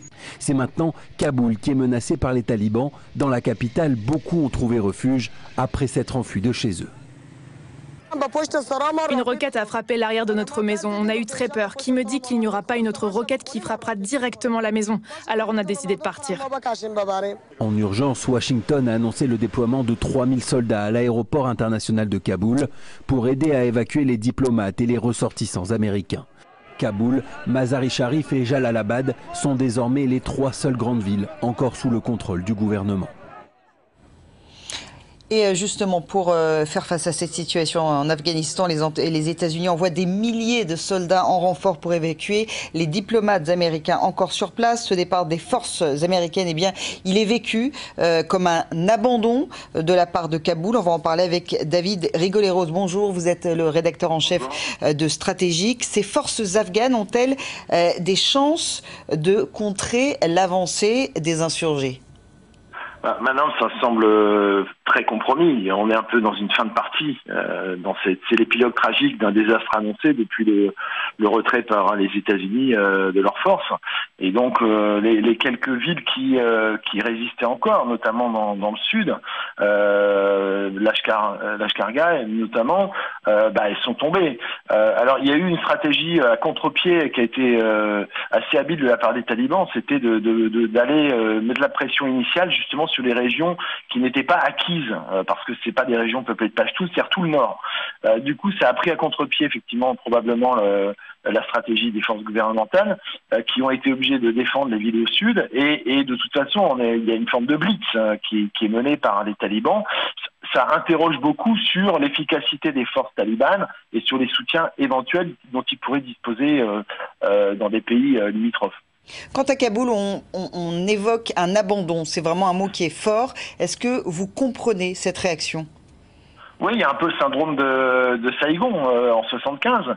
Euh, ce serait très malvenu que euh, les images de, de la chute de Kaboul rappellent celles de la chute de Saigon. On s'en souvient. Euh, ça a eu un impact considérable sur la crédibilité de la, la puissance américaine. Et aujourd'hui, c'est un peu ce qui risque de se produire si Kaboul tombe, parce que euh, il y a la perspective du 11 septembre qui a été fixée par le président euh, Joe Biden. Il aurait probablement dû éviter d'utiliser cette date parce que ça pourrait se retourner contre lui euh, si d'aventure les, les, talibans parvenaient à, à parachever leur conquête justement un, un 11 septembre, 20 ans après une intervention qui se termine malheureusement par un désastre annoncé. Merci beaucoup, euh, David Rigoleros, d'avoir été euh, en direct dans LCI Midi. Merci pour cet éclairage. Je rappelle le titre de votre ouvrage, Terrorisme, les affres de la vengeance. Également dans l'actualité internationale, enfin un peu de répit pour les pompiers euh, en Grèce. Les violents incendies qui ont brûlé plus de 100 000 hectares de pinettes sont désormais maîtrisés. Il n'y a plus de foyers actifs. Et voilà qui nous amène à parler euh, de la météo et de cette fournaise qui s'est abattue euh, sur le sud-est de la France. Cinq départements placés en alerte canicule. On attend jusqu'à 40 degrés en Provence. On va en parler tout de suite avec Mathieu Carman qui est à Bormes-les-Mimosas dans le Var. Alors, c'est cet après-midi, hein, d'ici, dans, dans, pas longtemps, que le soleil cognera le plus, hein, Mathieu.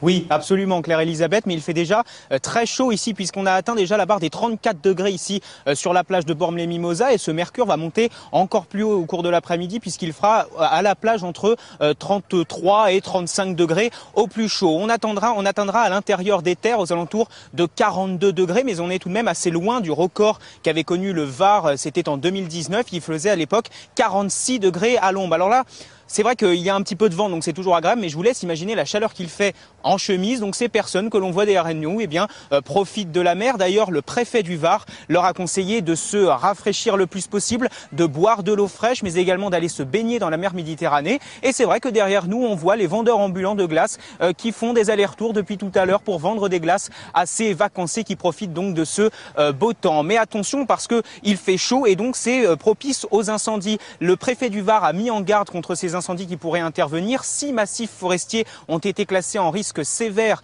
euh, d'incendie et donc faites attention surtout si vous êtes aux alentours de ces massifs forestiers. Ne jetez surtout pas euh, de cigarettes euh, dans, les, dans ces forêts car sinon un rien pourrait embraser toute une forêt. Et moi en attendant Claire Elisabeth, je vais vous laisser sur cette image de la mer Méditerranée pour profiter un petit peu de cette magnifique vue qu'on a avec Eric Josset. Et puis moi je vais me mettre à l'ombre. À tout à l'heure. Merci beaucoup Mathieu Carman et puis, et puis bravo parce que vous avez eu le courage courage de porter votre chemise malgré cette chaleur. Merci aussi à Eric Josset. Restez avec nous, on marque une courte pause et puis on se retrouve dans quelques instants.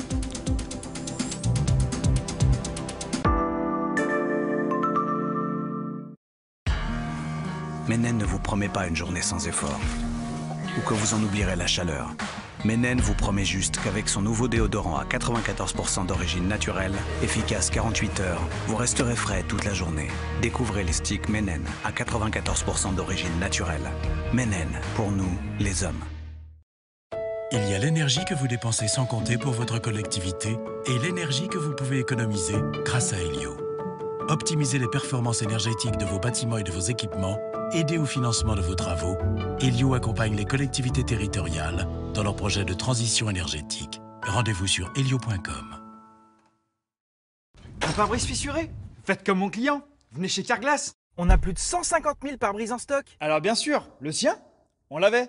Je lui ai remplacé, et comme toujours quand on remplace, sa voiture, il l'a retrouvée encore plus propre qu'avant. Et pour qu'elle le reste longtemps, en ce moment, Carglass vous offre un aspirateur de voiture développé par Noroto. Alors, prenez rendez-vous maintenant sur carglass.fr et tapez bien .fr pour être sûr d'arriver chez nous. Carglass répare, Carglass remplace. Direct Assurance, bonjour. Oui, j'ai souscrit sur votre site hier soir. Résultat, ce matin, mon appart est déjà assuré. Franchement, bravo Direct Assurance. On m'avait dit que vous étiez super. Et ben, vous savez quoi? Vous êtes les meilleurs. Voilà. Le seul risque avec une assurance qui assure dès le lendemain, c'est que vous l'aimiez. Direct Assurance, l'assurance que vous risquez d'aimer. Retrouvez vos jeux préférés où vous voulez sur l'appli FDJ. À télécharger maintenant.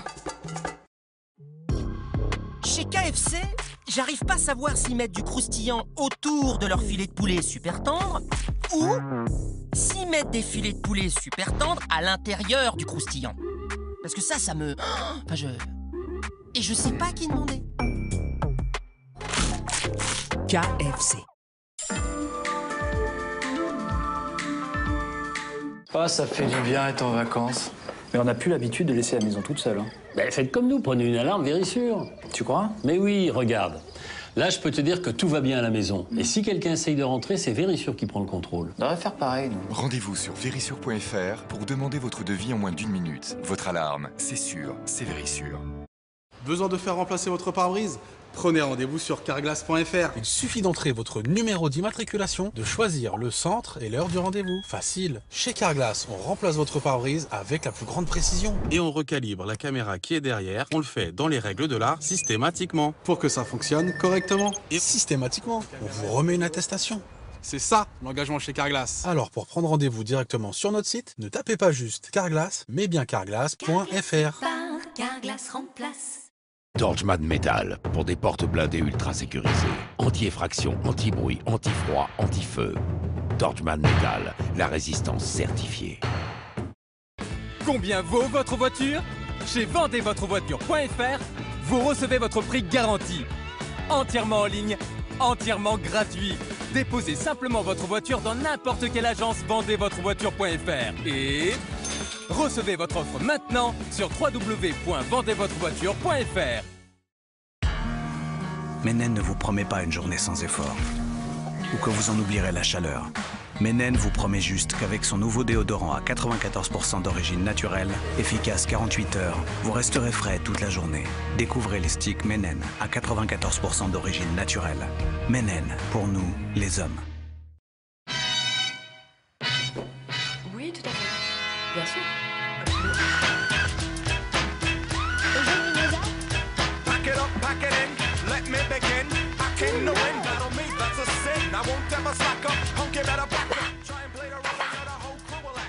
Avez passé une bonne journée Plutôt calme. J'ai vu ça, oui. Bibox Fibre avec Wi-Fi 6. Profitez du meilleur des Wi-Fi partout dans la maison. On est fait pour être ensemble. Bouygues Télécom.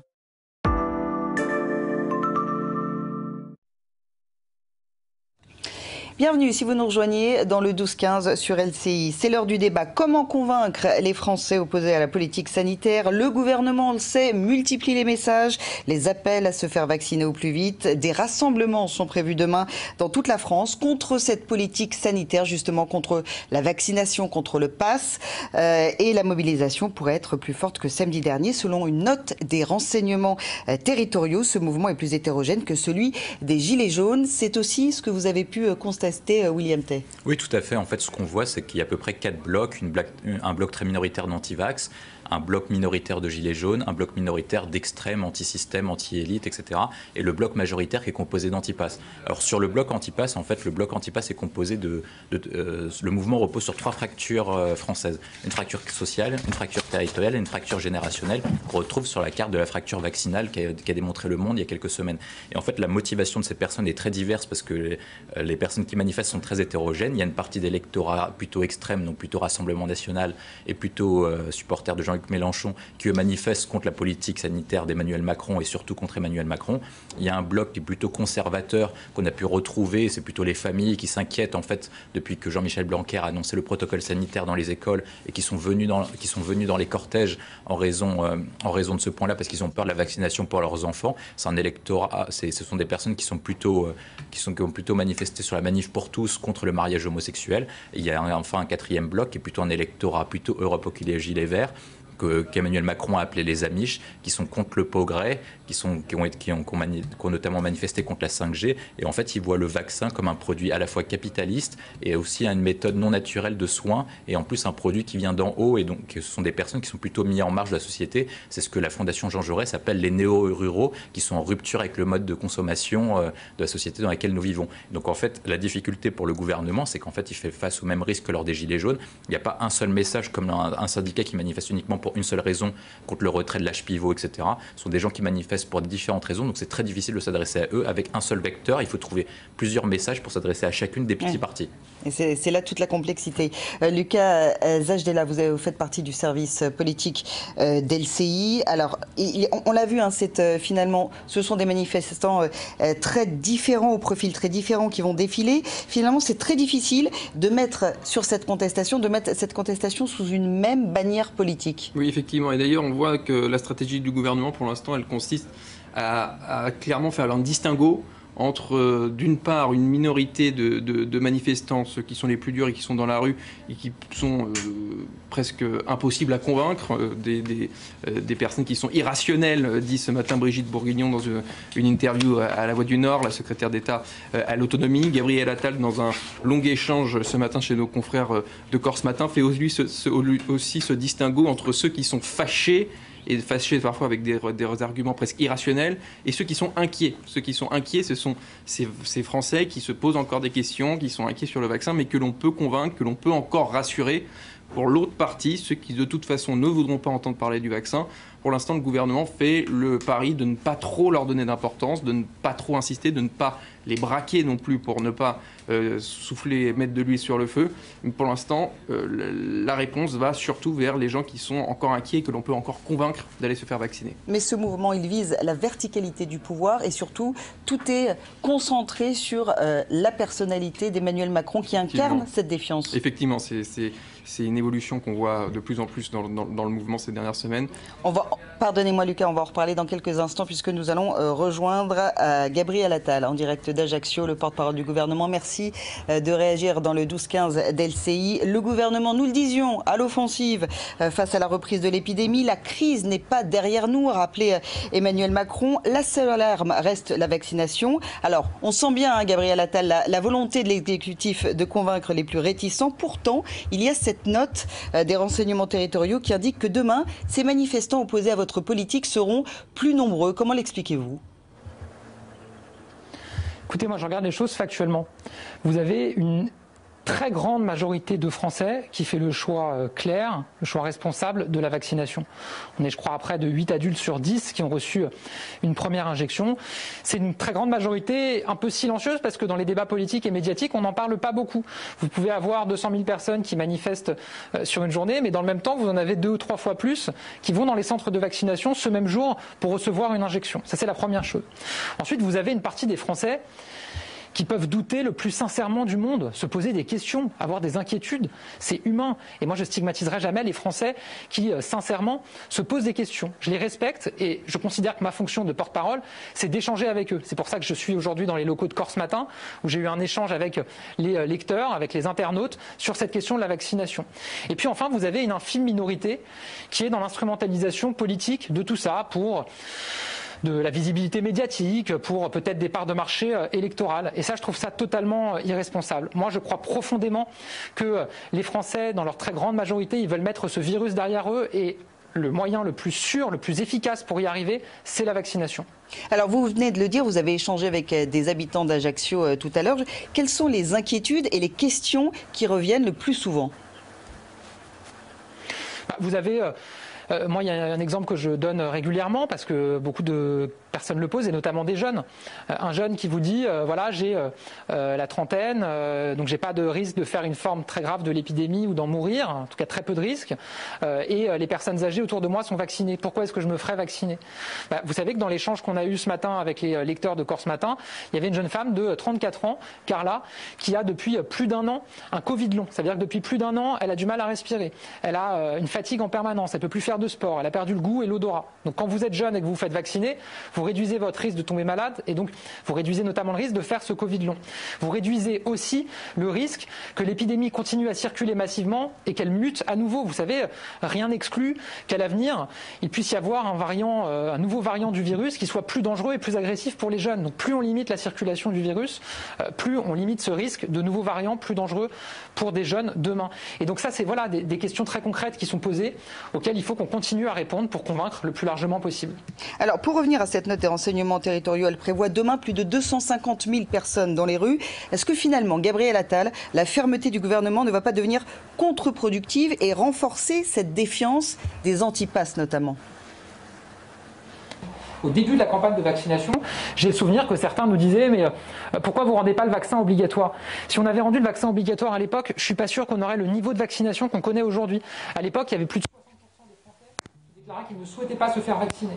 Aujourd'hui, vous avez 8 adultes sur 10 qui ont reçu une première injection sans avoir rendu le vaccin obligatoire, mais parce que on a fait tout ce travail de pédagogie, de conviction, de confiance. Il y a aussi une part d'incitation maintenant avec le pass sanitaire, c'est certain, mais c'est comme ça qu'on veut continuer à avancer et je suis sûr que c'est ce qu'il y a de plus efficace. Une question de la part de Lucas Ajdela du service politique. Oui, bonjour Monsieur le Ministre. Dans les, questions que vous posez ce matin, euh, les lecteurs euh, de, de, Corse Matin, il y avait beaucoup de questions sur les différents revirements euh, du gouvernement, sur le masque, sur le pass sanitaire que Emmanuel Macron avait promis qu'il ne serait jamais obligatoire pour aller dans les lieux de la vie quotidienne. Finalement, il le devient. Est-ce que, et, ça c'est un argument qui revient souvent dans les manifestations du samedi, c'est qu'il y a eu des revirements. Est-ce que vous pensez que le gouvernement a suffisamment expliqué, a suffisamment fait comprendre pourquoi il avait changé de position sur ces sujets-là On fait au mieux, je vais vous dire, moi, de manière très... Euh, on n'en fera jamais assez en termes de pédagogie, en termes d'explication et en termes de travail de conviction. Donc on va continuer à se déployer par tous les moyens possibles. Vous savez, les gouvernements du monde entier ils ont, été, euh, ils ont pris cette épidémie de plein fouet aussi. Et moi, je crois profondément que la Covid-19, c'est euh, finalement la fin du, de ce qui restait du mythe de l'omniscience en politique. On ne sait pas tout, on ne peut pas tout savoir. Quand vous avez un nouveau virus qui apparaît, qui en plus peut muter, que vous avez des avis scientifiques qui évoluent parce que les scientifiques aussi découvrent ce virus, bah forcément, il peut arriver que vous soyez amené à changer de recommandation, à changer d'avis sur un certain nombre de règles. Et moi, j'entends parfaitement que ça ait pu être perturbant pour les Français, que ça puisse parfois entamer la confiance vis-à-vis des scientifiques, vis-à-vis des décideurs publics. Mais je crois que dans finalement toutes ces incertitudes, on fait au mieux pour avancer avec toujours le cap de protéger nos concitoyens. Alors le gouvernement le, répète et notamment Emmanuel Macron, la seule arme pour lutter contre l'épidémie, c'est le vaccin. Est-ce que finalement on n'y est pas dans cette vaccination obligatoire? Bah, En tout cas, il y a une incitation très forte à se faire vacciner, parce que le vaccin fonctionne. Le vaccin est sûr et efficace. Regardez ce qui se passe si vous comparez la situation en métropole, malheureusement, aux Antilles, dans nos territoires ultramarins. Vous avez un niveau de vaccination aux Antilles qui est malheureusement très faible, qui est d'à peine plus de 20%, et vous avez des hôpitaux qui sont parce qu'il y a beaucoup plus de personnes qui font des formes graves. En métropole, vous avez euh, un taux de vaccination qui est beaucoup plus élevé. Pour l'instant, même si les choses se tendent fortement dans les hôpitaux, notamment dans le sud, pour l'instant, on, on, arrive à accueillir et à soigner tout le monde dans de bonnes conditions.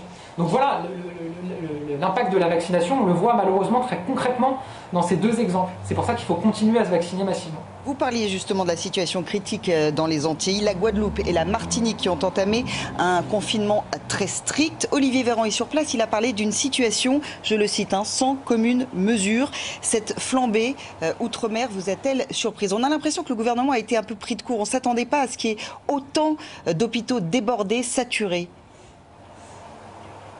Vous savez, ça fait depuis plusieurs mois maintenant qu'on suit de très près la situation dans tous nos territoires ultramarins et notamment aux Antilles ça fait maintenant plusieurs semaines, de longues semaines, peut-être même plus d'un mois, un mois et demi, que le service de santé des armées a été déployé aux Antilles pour augmenter les capacités de réanimation. On a mobilisé aussi des moyens d'oxygène supplémentaires. On a élargi les capacités d'accueil à l'hôpital dans nos hôpitaux. Encore en début de semaine, on a fait venir 230 euh, professionnels de santé volontaires, soignants volontaires de métropole aux Antilles pour accueillir les malades. Malheureusement, on voit aujourd'hui aux Antilles deux choses. D'abord, un taux d'incidence qui est incroyablement élevé, 2000 pour 100 000 habitants en Guadeloupe, c'est du jamais vu sur aucun territoire de la République depuis le début de cette épidémie. Et de l'autre côté, vous avez une couverture vaccinale qui est très faible. Et donc Olivier Véran, hier sur place, a rappelé la nécessité absolue de se vacciner pour limiter le risque de forme grave et limiter la saturation de nos hôpitaux. Pour revenir à cette situation dans les Antilles, 22% environ hein, de primo-vaccinés euh, sur place. Euh, on sait que la population est réticente à se faire vacciner. Est-ce que vous diriez que le travail pédagogique a été suffisamment fait? Bah, À l'évidence, euh, quelque chose n'a pas fonctionné pour qu'on ait ce niveau de vaccination. Donc nous, depuis le début, l'État, les autorités sanitaires, on a mis en place la campagne de vaccination avec les doses en nombre, avec les centres de vaccination mis en place, avec les mêmes vaccins qu'en métropole, pour le proposer à toute la population. Je crois malheureusement qu'il y a eu aussi des prises de position euh, localement de certains qui euh, n'ont pas été euh, à la hauteur, qui ont peut-être miné aussi la confiance dans la vaccination. En tout cas, il faut continuer ce travail de conviction et c'est pour ça qu'Olivier Véran aussi était sur place hier.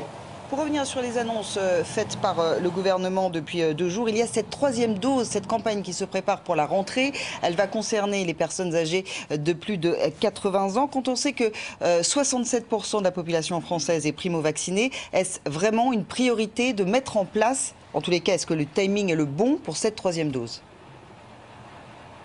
Notre priorité, c'est de protéger les plus fragiles.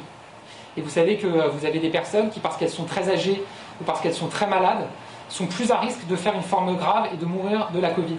Et vous avez des études scientifiques qui tentent à montrer que l'immunité pourrait décliner, l'immunité conférée par le vaccin au bout de quelques mois. Et donc on ne peut pas prendre ce risque-là. D'ailleurs, vous avez euh, maintenant beaucoup de pays qui font ce choix-là dans le monde. On ne peut pas prendre ce risque. Et donc notamment pour un public très âgé, par exemple en maison de retraite ou très malade, il y aura effectivement cette campagne de rappel vaccinal qui sera euh, proposée les injections démarreront à la mi-septembre et la prise de rendez-vous démarrera dès la fin août, début septembre. Il y a eu, euh, il y a eu un, tour de vis euh, il y a deux jours dans les euh, départements où le taux d'incidence dépasse les 200 pour 100 000 habitants. Est-ce qu'il faut s'attendre à, d'autres mesures de ce type dans d'autres départements à l'avenir? Peut-être aller plus loin, des fermetures, des restrictions de déplacement Et si oui, quel sera le critère qui sera retenu? Est-ce que c'est encore le taux d'incidence? Est-ce que ce sera la, la saturation des hôpitaux? À partir de quel niveau faut-il s'attendre à des nouvelles mesures? Moi, vous savez, j'ai appris depuis le début de cette crise à ne jamais dire euh, jamais et à ne jamais rien exclure par principe. Mais ce que je peux vous dire, c'est qu'aujourd'hui, notre objectif et notre détermination, c'est de permettre une vie la plus normale possible, même s'il y a des contraintes, euh, euh, malgré le virus qui circule. C'est pour ça qu'on met en place le pass sanitaire. Si on n'avait pas le pass sanitaire, on aurait probablement déjà refermé beaucoup des lieux où le pass sanitaire s'applique aujourd'hui, dans les régions où le virus circule le plus, c'est-à-dire les régions touristiques et les régions du littoral.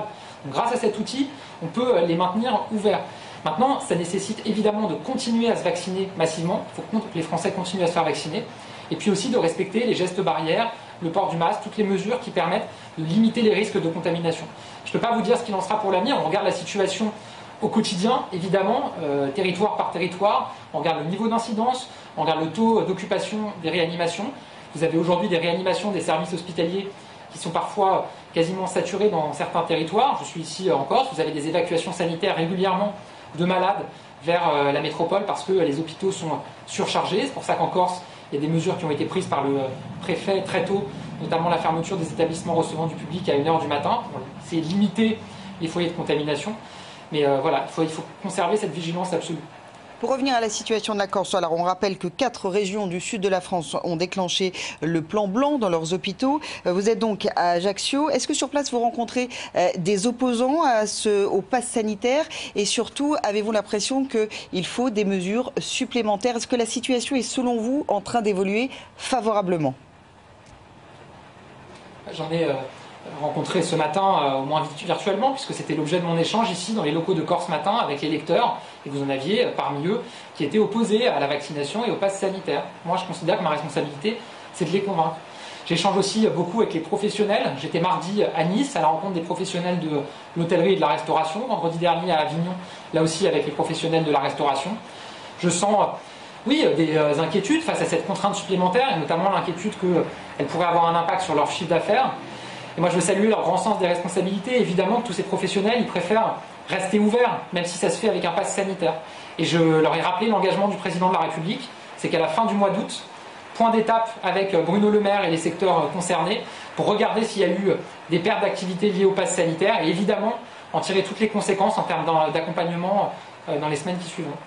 Merci Monsieur le Ministre, merci Gabriel Attal, porte-parole du gouvernement, d'avoir été euh, dans le, d'avoir réagi euh, dans le 12-15 d'LCI. On va faire un tour de table pour réagir à ce que vient de dire Gabriel Attal, une fermeté affichée, le porte-parole du gouvernement qui euh, réitère le message, qui le relaie le message d'Emmanuel Macron.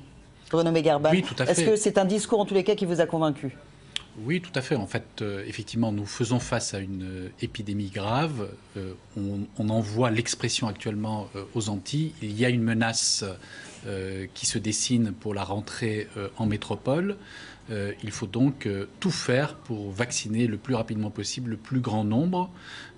Et donc, effectivement, le pass sanitaire y contribue. Certes, c'est une mesure qui euh, réduit légèrement les libertés individuelles, mais en fait, c'est une mesure temporaire. Elle sera très probablement levée dès que le niveau de vaccination de la population euh, euh, permettra d'espérer un, contrôle de la circulation du virus. En attendant, elle permet avec succès, on l'a vu, le vaccination d'un grand nombre de personnes. Et ces millions de personnes qui se sont fait vacciner, peut-être pas convaincus à 100% grâce au pass sanitaire, à mon, avis, changeront le visage euh, de l'épidémie. Euh, sans cela, euh, on risquerait d'avoir une vague équivalente au niveau des hôpitaux à ce que l'on observe actuellement dans les Antilles. Euh, Lucas, pour revenir à ce que disait Gabriel Attal il y a quelques instants, il s'inscrit vraiment dans la ligne gouvernementale que l'on peut observer depuis quelques jours. hein. Oui. Là, vraiment, c'est. C'est effectivement, on reconnaît le discours qui est majoritaire euh, dans l'exécutif depuis, euh, depuis ces derniers jours, rappeler inlassablement, infatigablement que l'arme, la solution contre, contre l'épidémie, c'est- c'est le vaccin.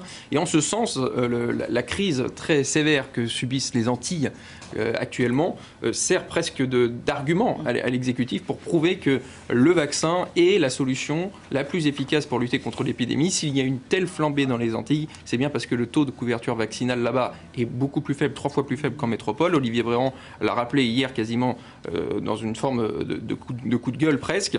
Euh, distinguer encore une fois ceux qui sont inquiets, qui ont des inquiétudes légitimes et ceux qui sont peut-être dans une opposition un peu plus systématique, un peu plus euh, euh, politique, un peu plus frontale au gouvernement. Euh, Ceux-là euh, ne, veulent pas vraiment euh, ne veulent pas vraiment critiquer le vaccin ou le pass sanitaire, ils veulent surtout s'opposer à Emmanuel Macron et on a d'ailleurs vu dans les dernières semaines beaucoup de pancartes qui visaient personnellement le chef de l'État. Ça, c'est un mouvement que le gouvernement sait qu'il aura beaucoup de mal à canaliser, mais qu'il suit quand même avec une certaine inquiétude, hein, même si on ne veut pas dire que, que on ne veut pas donner trop d'importance. Euh, en ce sens, la décision qu'a prise Emmanuel Macron de, de- de supprimer le, le contrôle technique pour les deux roues qui était passé euh, au journal officiel cette semaine. Parce que Ouais. les Français n'ont pas besoin Parce de que voilà, les Français n'ont pas envie d'être embêtés, surtout on comprend pour éviter toute coagulation possible des luttes et éviter d'avoir des motards qui viendraient se greffer avec des anti-vaccins et recréer une espèce de mouvement qui deviendrait incontrôlable et qui deviendrait euh, tellement protéiforme qu'on ne pourrait plus s'y adresser. Euh, William T, pour revenir à ce que disait Gabriel Attal il y a quelques instants, finalement, est-ce que le porte-parole du gouvernement ne, ne dit pas dans son message, n'annonce pas une vaccination obligatoire qui ne dit pas son nom? C'est une, obligation vaccinatoire de fait, en fait, depuis le discours du 12 juillet. En fait, ce que fait le gouvernement quand on regarde les, les courbes Covid Tracker sur la question de la vaccination, c'est qu'ils tiennent un discours qui est très très ferme au moment où le nombre de vaccinations commence à ralentir ou à baisser. Donc ils sont obligés de remettre un coup de collier. La difficulté, c'est qu'en fait, ils tiennent à deux objectifs contradictoires. Un objectif où ils sont obligés d'inciter à vacciner, donc ils doivent tenir un discours très ferme. Le pass sanitaire, on ne fera aucun assouplissement. Vous êtes obligé de vous faire vacciner. On ne remboursera plus les tests PCR. Donc si vous ne faites pas vacciner, en gros, vous aurez une vie impossible, une vie vous serez mort socialement. Et de l'autre côté, ils doivent en même temps montrer de, de l'empathie à l'égard des manifestants. Et ils le font hein, dans les actes de politique publique. Euh, Olivier Véran, dimanche dernier, a étendu le, le test de 48 à 72 heures. Donc ils le font, mais la difficulté, c'est qu'en fait, il faut montrer de l'empathie envers. Et c'est pour ça que c'est deux objectifs contradictoires, parce que la fermeté est contre l'empathie. Et donc, du coup, ils doivent, je pense qu'ils ont une temporalité qui est différente. Ils savent, du coup, avec les notes qu'on a du renseignement territoriaux, que les manifestations seront plutôt calmes avec un niveau de mobilisation compris entre 200 000 et 300 000 jusqu'à fin août. Donc ils vont tenir ce discours pour euh, avoir un objectif de primo-vacciné de 50 millions de personnes pour avoir une couverture vaccinale de 75% de la population. Et ensuite, après, ils vont changer de speech éventuellement en fonction de l'évolution des manifestations, éventuellement pour voir si d'autres personnes vont s'agglomérer euh, aux manifs. Nous, on a dénombré quatre catégories qui peuvent s'a- s'agglomérer aux manifestations. Des professions particulières, comme on a déjà eu les soignants et les pompiers, qui ont profité en fait du pass, des revendications sur le pass sanitaire pour avoir des revendications politiques et sociales. Une deuxième catégorie qui sont les jeunes et les étudiants, si on a le protocole sanitaire dans les écoles et dans les facs. Le troisième point, c'est les artisans commerçants qui sont la catégorie qui soutiennent le plus les manifestants. Et enfin, les familles qui ont peur pour leurs enfants et aussi les familles un peu catho-tradies qui, ont- qui, qui manifestent pour le droit du corps, à, droit, droit à disposer librement de son corps, etc. Merci William. Voilà qui nous amène à cette fameuse note des renseignements territoriaux euh, qui, euh, qui prévoit que la, manifestement, la manifestation de demain sera plus importante que samedi dernier. Tiffaine Pieuget, on en parle avec vous. Que faut-il retenir justement de ces conclusions de cette note? Alors, ce qu'il faut retenir en priorité, c'est qu'il y aura de plus en plus de contestataires euh, dans la rue. On était à 237 000 sur l'ensemble du territoire samedi dernier et ça continue de monter puisqu'on attend jusqu'à 250 000 euh, manifestants euh, dans les rues demain. À Paris spécifiquement, ils étaient 17 000 participants pour la, la semaine dernière et demain, on en attend jusqu'à 20 000. Euh, ce qu'il faut retenir aussi pour les autres villes de France, c'est qu'on va avoir une mobilisation particulièrement importante dans les villes du sud de la France. Marseille, Nice, Toulon, euh, Montpellier, Perpignan sont des villes qu'on va, qu'on va suivre. Nantes également, euh, qui traditionnellement a euh, une, une forte mobilisation de l'extrême gauche, même si jusqu'à présent il n'y a pas eu de violence particulière. Et ça m'amène également au profil de ces manifestants qui sont les mêmes que depuis plusieurs semaines. Des, ce, que vous disiez finalement, ça va être des gilets jaunes, des, des vaccinés mais anti-pass sanitaire. C'est important euh, de le rappeler. La plupart des manifestants à qui on parle nous disent nous on est vaccinés, on n'est pas contre le vaccin, on est euh, contre le pass sanitaire qu'ils considèrent comme euh, une perte de leur liberté. Euh, et également, dernier point important de cette note, c'est qu'il n'y a pas de violence attendue. Euh, on est vraiment sur des manifestations pacifiques, mais euh, très, euh, très sérieuses du point de vue de, la contestation. Et les manifestants le, le rappellent depuis, euh, depuis le, début de l'été. Ils ne veulent pas de violence parce qu'ils ne veulent pas qu'on décrédibilise leur mouvement, comme ça avait pu être le cas peut-être pour les Gilets jaunes.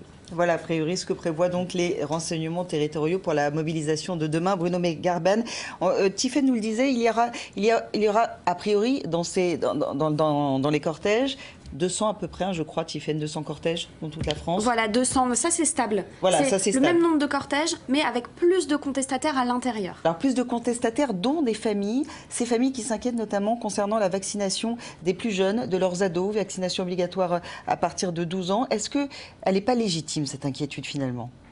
Alors aujourd'hui, la vaccination n'est pas obligatoire. Y Non, enfin, en tous les cas, on incite les enfants de 12 ans à se faire vacciner. Elle est Voilà, recommandée. Il y aura pardon. des campagnes de vaccination euh, dans les lycées et dans les universités pour euh, vacciner le plus grand nombre. Alors pour quelles raisons? C'est ça qu'il faut bien comprendre.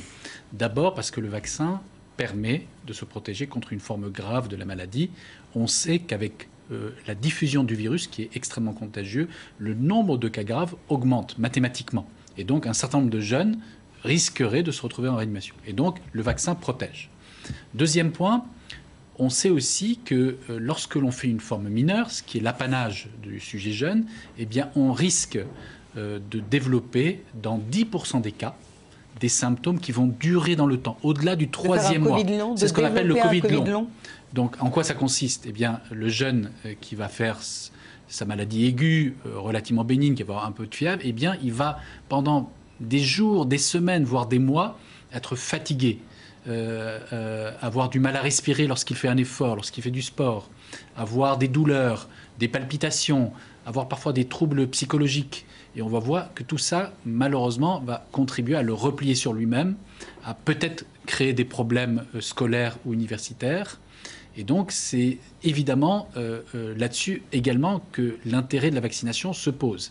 Et enfin, dernier intérêt, c'est un intérêt collectif, car on sait que le virus va circuler essentiellement parmi les, enfants et adolescents qui ont des interactions sociales à l'école, euh, au collège, à l'université. Et donc, si un adolescent est contaminé, eh bien, sans le vouloir, il va faire entrer le virus dans son foyer. Où là, malheureusement, car on sait qu'il existe encore à peu près 3 millions de personnes à risque non vaccinées du tout, eh bien, sans le vouloir, il va être le vecteur de la transmission du virus euh, vers ces personnes qui sont, cette fois-ci, des parents à lui, c'est-à-dire ses, propres parents, ses grands-parents, des oncles. Eh bien, ceux-ci risqueraient de se retrouver en réanimation. Et donc, je me mets à la place de cet adolescent. Quelle, quelle difficulté psychologique il aura par la suite. Et donc, on voit bien qu'il y a un intérêt, on va dire, euh, euh, incontestable euh, pour les adolescents de se faire vacciner. Malgré tout, ça n'est pas obligatoire encore. Il faut l'accord d'un Il- des parents. voilà. Mais c'est fortement recommandé. C'est un vaccin efficace et très bien toléré, À y compris chez les adolescents. de 12 à partir de 12 ans. William T, on va revenir sur ces deux visions de la situation finalement, parce que le gouvernement dit que pour être plus libre, il faut se faire vacciner, alors que les contestataires disent, eh bien nous, on manifeste pour la défense de la liberté. Moi, je pense que les gens ne manifestent pas. Enfin, ils manifestent pour la liberté, mais je ne pense pas que ce soit la cause profonde de la manifestation. Euh, effectivement, dans les slogans, ils disent euh, liberté, liberté. Mais si par cas les gens manifestaient uniquement pour la question de la liberté, pourquoi est-ce qu'on n'a pas eu autant de manifestants sur la question du confinement ou du couvre-feu? Et je pense que l'événement qui est majeur, il y a eu deux événements qui sont majeurs, c'est la question de la rupture d'égalité.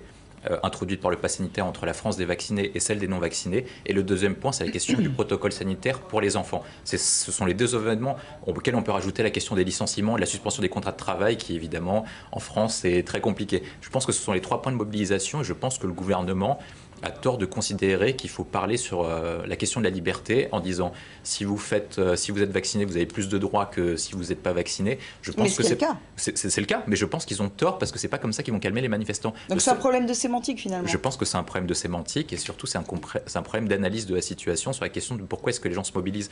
Les gens se mobilisent en France depuis la Révolution française sur la question des discriminations, sur la question de l'égalité. Il n'y a pas de, j'ai pas connu de très grandes manifestations sur la question de la liberté. Merci beaucoup à tous les quatre d'avoir participé à ce débat dans le 12-15. On marque une courte pause et puis on se retrouve dans quelques instants sur LCI.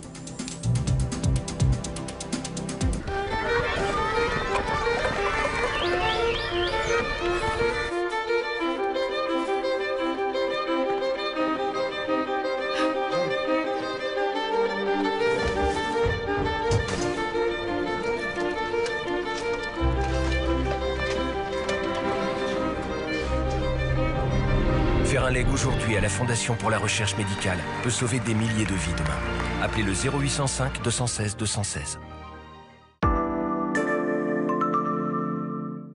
Chez De Giro, nous souhaitons rendre l'investissement accessible à tous ceux voulant bâtir leur propre avenir financier.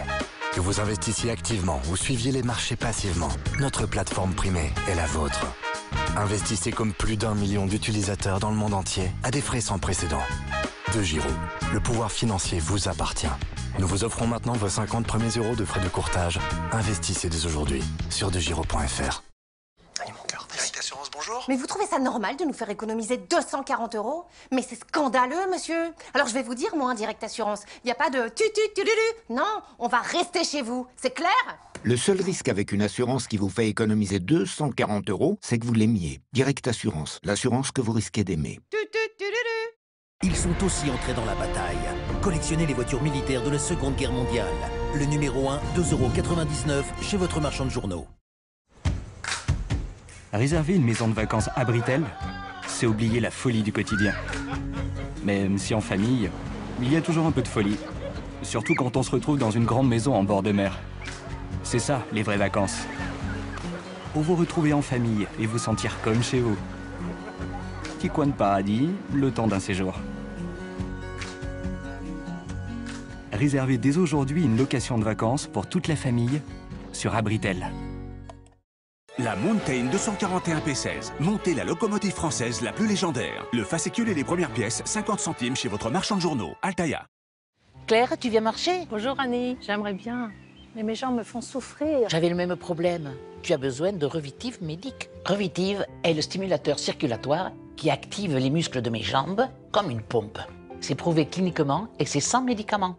Le flux sanguin augmente et réduit les douleurs, les crampes et les gonflements. Et si vous souffrez de douleurs ou de gonflements au genou, essayez Revitive Arthrose Genou. Ça pourrait vous changer la vie. Dispositifs médicaux sur obitif.fr en pharmacie et dans ses enseignes. Livraison gratuite. Infaillible, incorruptible, indestructible. Le flic parfait. Robocop est de retour. Construisez le légendaire Cyborg. Une spectaculaire réplique de grande taille, entièrement articulée et accompagnée d'informations détaillées. Le fascicule et les premières pièces, 50 centimes chez votre marchand de journaux. Altaïa. Cet été, je veux juste me détendre. Ok, me détendre et peut-être courir. Mais surtout me détendre. Et courir. Et me remettre à nager. Donc me détendre, courir, nager et, grimper au sommet d'une montagne géante. Me détendre, courir, nager, grimper et renverser un gros pneu tracteur. Ok, me détendre, courir, nager, gravir une montagne, renverser des pneus et devenir ceinture noire de taekwondo. Bon, tu veux toujours te détendre?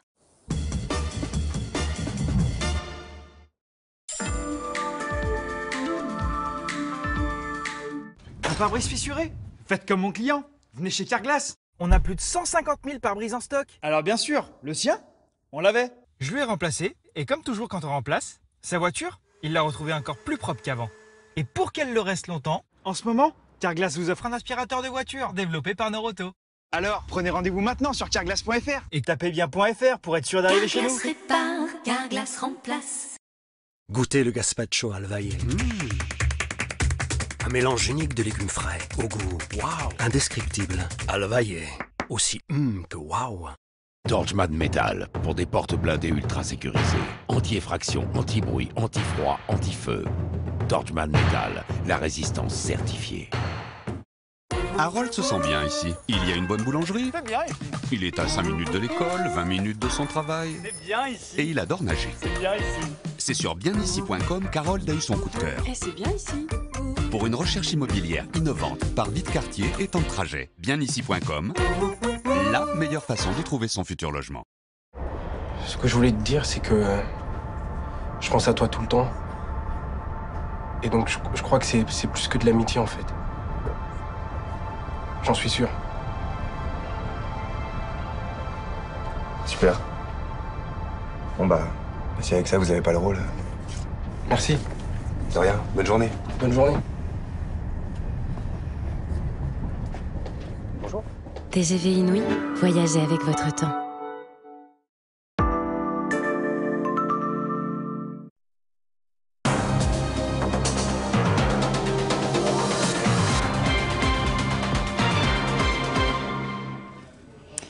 Bienvenue si vous nous rejoignez dans LCI Midi. Des antipasses plus nombreux demain. 250 000 manifestants selon une note des renseignements territoriaux. Une note qui met en exergue le profil très varié de ces manifestants. Alors pour le porte-parole du gouvernement, Gabriel Attal, qui s'est exprimé tout à l'heure euh, sur notre antenne, ces cortèges sont l'illustration d'une instrumentalisation politique.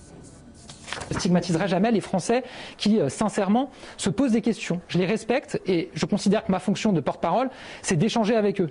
Et puis enfin, vous avez une infime minorité qui est dans l'instrumentalisation politique de tout ça pour de la visibilité médiatique, pour peut-être des parts de marché euh, électorales. Et ça, je trouve ça totalement euh, irresponsable. Moi, je crois profondément que les Français, dans leur très grande majorité, ils veulent mettre ce virus derrière eux et le moyen le plus sûr, le plus efficace pour y arriver, c'est la vaccination.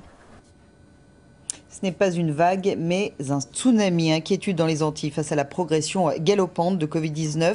Un chiffre pour se donner une idée. Un test PCR sur 4 est positif. Olivier Véran, qui s'est rendu au CHU de Fort-de-France, n'hésite pas à parler d'une situation sanitaire sans commune mesure. Le récit de notre envoyé spécial, Ignacio Bornassan.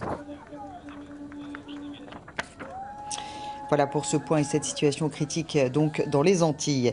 L'offensive éclair des talibans en Afghanistan. Huit jours, en huit jours, les insurgés se sont emparés de la moitié des capitales provinciales et c'est désormais euh, Kandahar, la deuxième plus grande ville du pays, qui vient de tomber.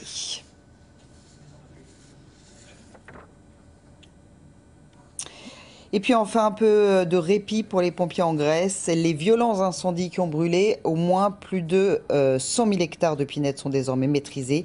Il n'y a plus de foyers actifs, déclarent les pompiers. Voilà, dans quelques instants, ne manquez pas ce document exceptionnel sur les nouvelles arnaques. Elles concernent notamment le secteur du bâtiment, isolation, rénovation ou encore construction. Regardez.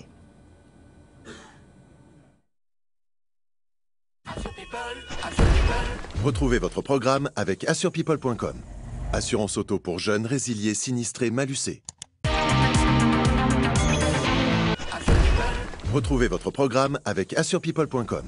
Assurance auto pour jeunes, résiliés, sinistrés, malucés.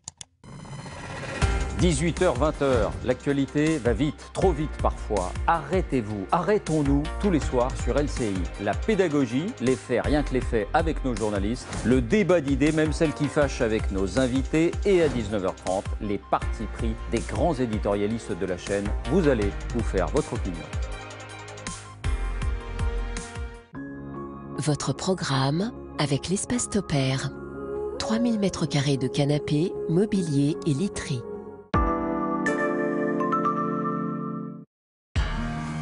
Menen ne vous promet pas une journée sans effort, ou que vous en oublierez la chaleur. Menen vous promet juste qu'avec son nouveau déodorant à 94% d'origine naturelle, efficace 48 heures, vous resterez frais toute la journée. Découvrez les sticks Menen à 94% d'origine naturelle. Menen, pour nous, les hommes. Aujourd'hui, je vis en Haute-Savoie. Où t'as appris qu'on mange du reblochon même l'été? Sacrée découverte. Mon reblochon, je l'aime en toute saison. Découvrez mes idées gourmandes sur reblochon.fr. Ah, avec vous, ça n'a pas toujours été facile. Vous m'avez arrosé, vous m'avez enfumé, abandonné. Mais pourtant, je sais pas. Avec vous, je me sens en sécurité. Si vous aimez votre maison autant qu'elle vous aime, protégez-la. Rendez-vous sur verissure.fr pour commencer votre devis. Besoin de faire remplacer votre pare-brise? Prenez rendez-vous sur carglass.fr. Il suffit d'entrer votre numéro d'immatriculation, de choisir le centre et l'heure du rendez-vous. Facile. Chez Carglass, on remplace votre pare-brise avec la plus grande précision. Et on recalibre la caméra qui est derrière. On le fait dans les règles de l'art systématiquement. Pour que ça fonctionne correctement. Et systématiquement, on vous remet une attestation. C'est ça, l'engagement chez Carglass. Alors, pour prendre rendez-vous directement sur notre site, ne tapez pas juste Carglass, mais bien carglass.fr. Carglass remplace.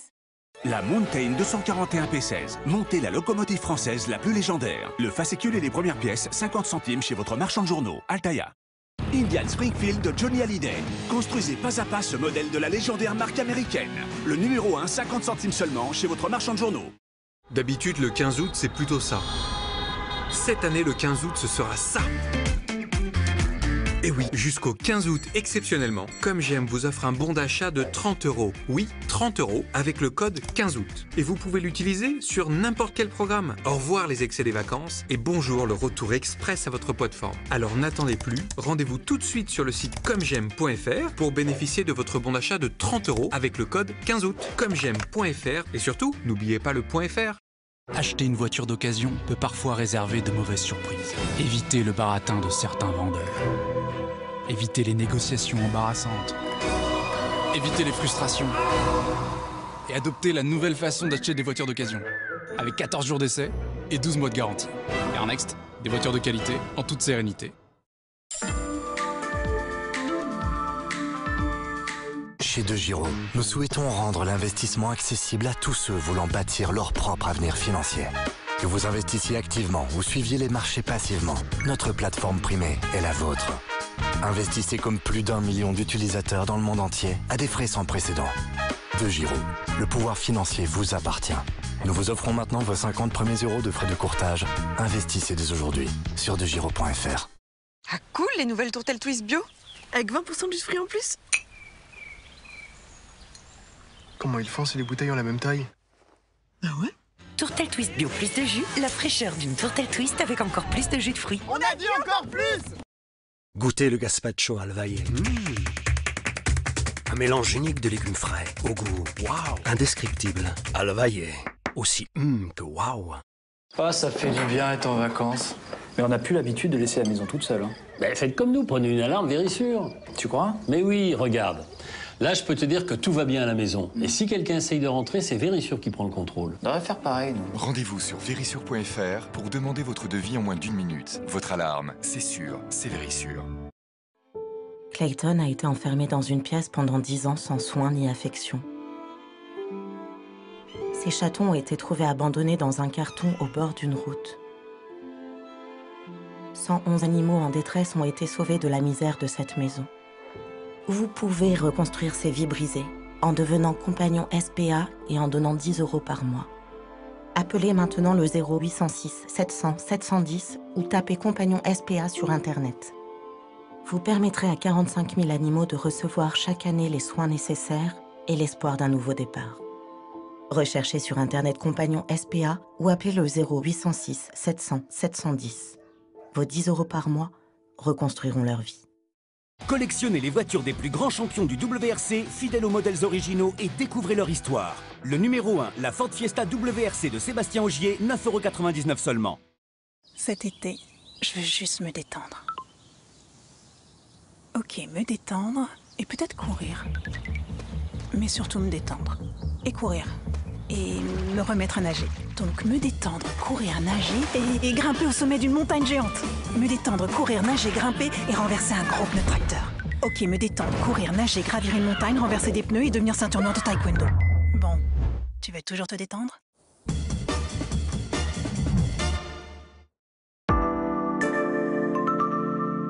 Votre programme avec Snow, le froid glacial au cœur de l'été. Disponible sur bi-beau.fr.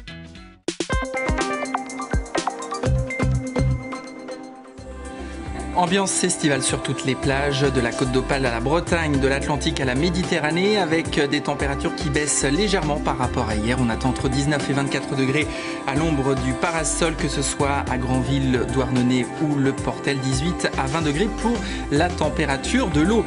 Du côté de l'Atlantique, les conditions sont encore plus estivales, avec pas moins de 26 degrés à La Rochelle comme sur le bassin d'Arcachon, et une température de l'eau qui grimpe progressivement, 21 à 22 degrés attendus. En Méditerranée, pas de changement avec un temps toujours aussi estival, un indice UV maximal. On n'oublie pas la crème solaire, on évite de s'exposer aux heures les plus chaudes entre 12h et 16h. Température à l'ombre des parasols jusqu'à 35 degrés au Cap d'Agde. Température de l'eau 26 degrés pour Porto Vecchio. Toutes ces informations sont à retrouver sur l'appli LCI.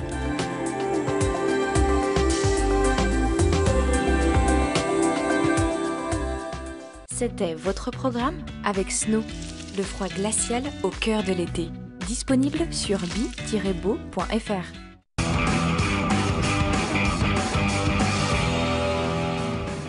Quasiment 15h sur LCI, ravi de vous retrouver pour ce club en ce vendredi 13 août. Nous sommes ensemble jusqu'à 18h et pour m'accompagner dans cette première heure, Marie-Laure Albi, médecin généraliste à Paris, bonjour à vous, mais également Jade Zahab, essayiste et auteur de Retrouver la République, m'accompagnera aussi sur ce plateau le journaliste du service politique TF1 ici, Lucas Zajdela.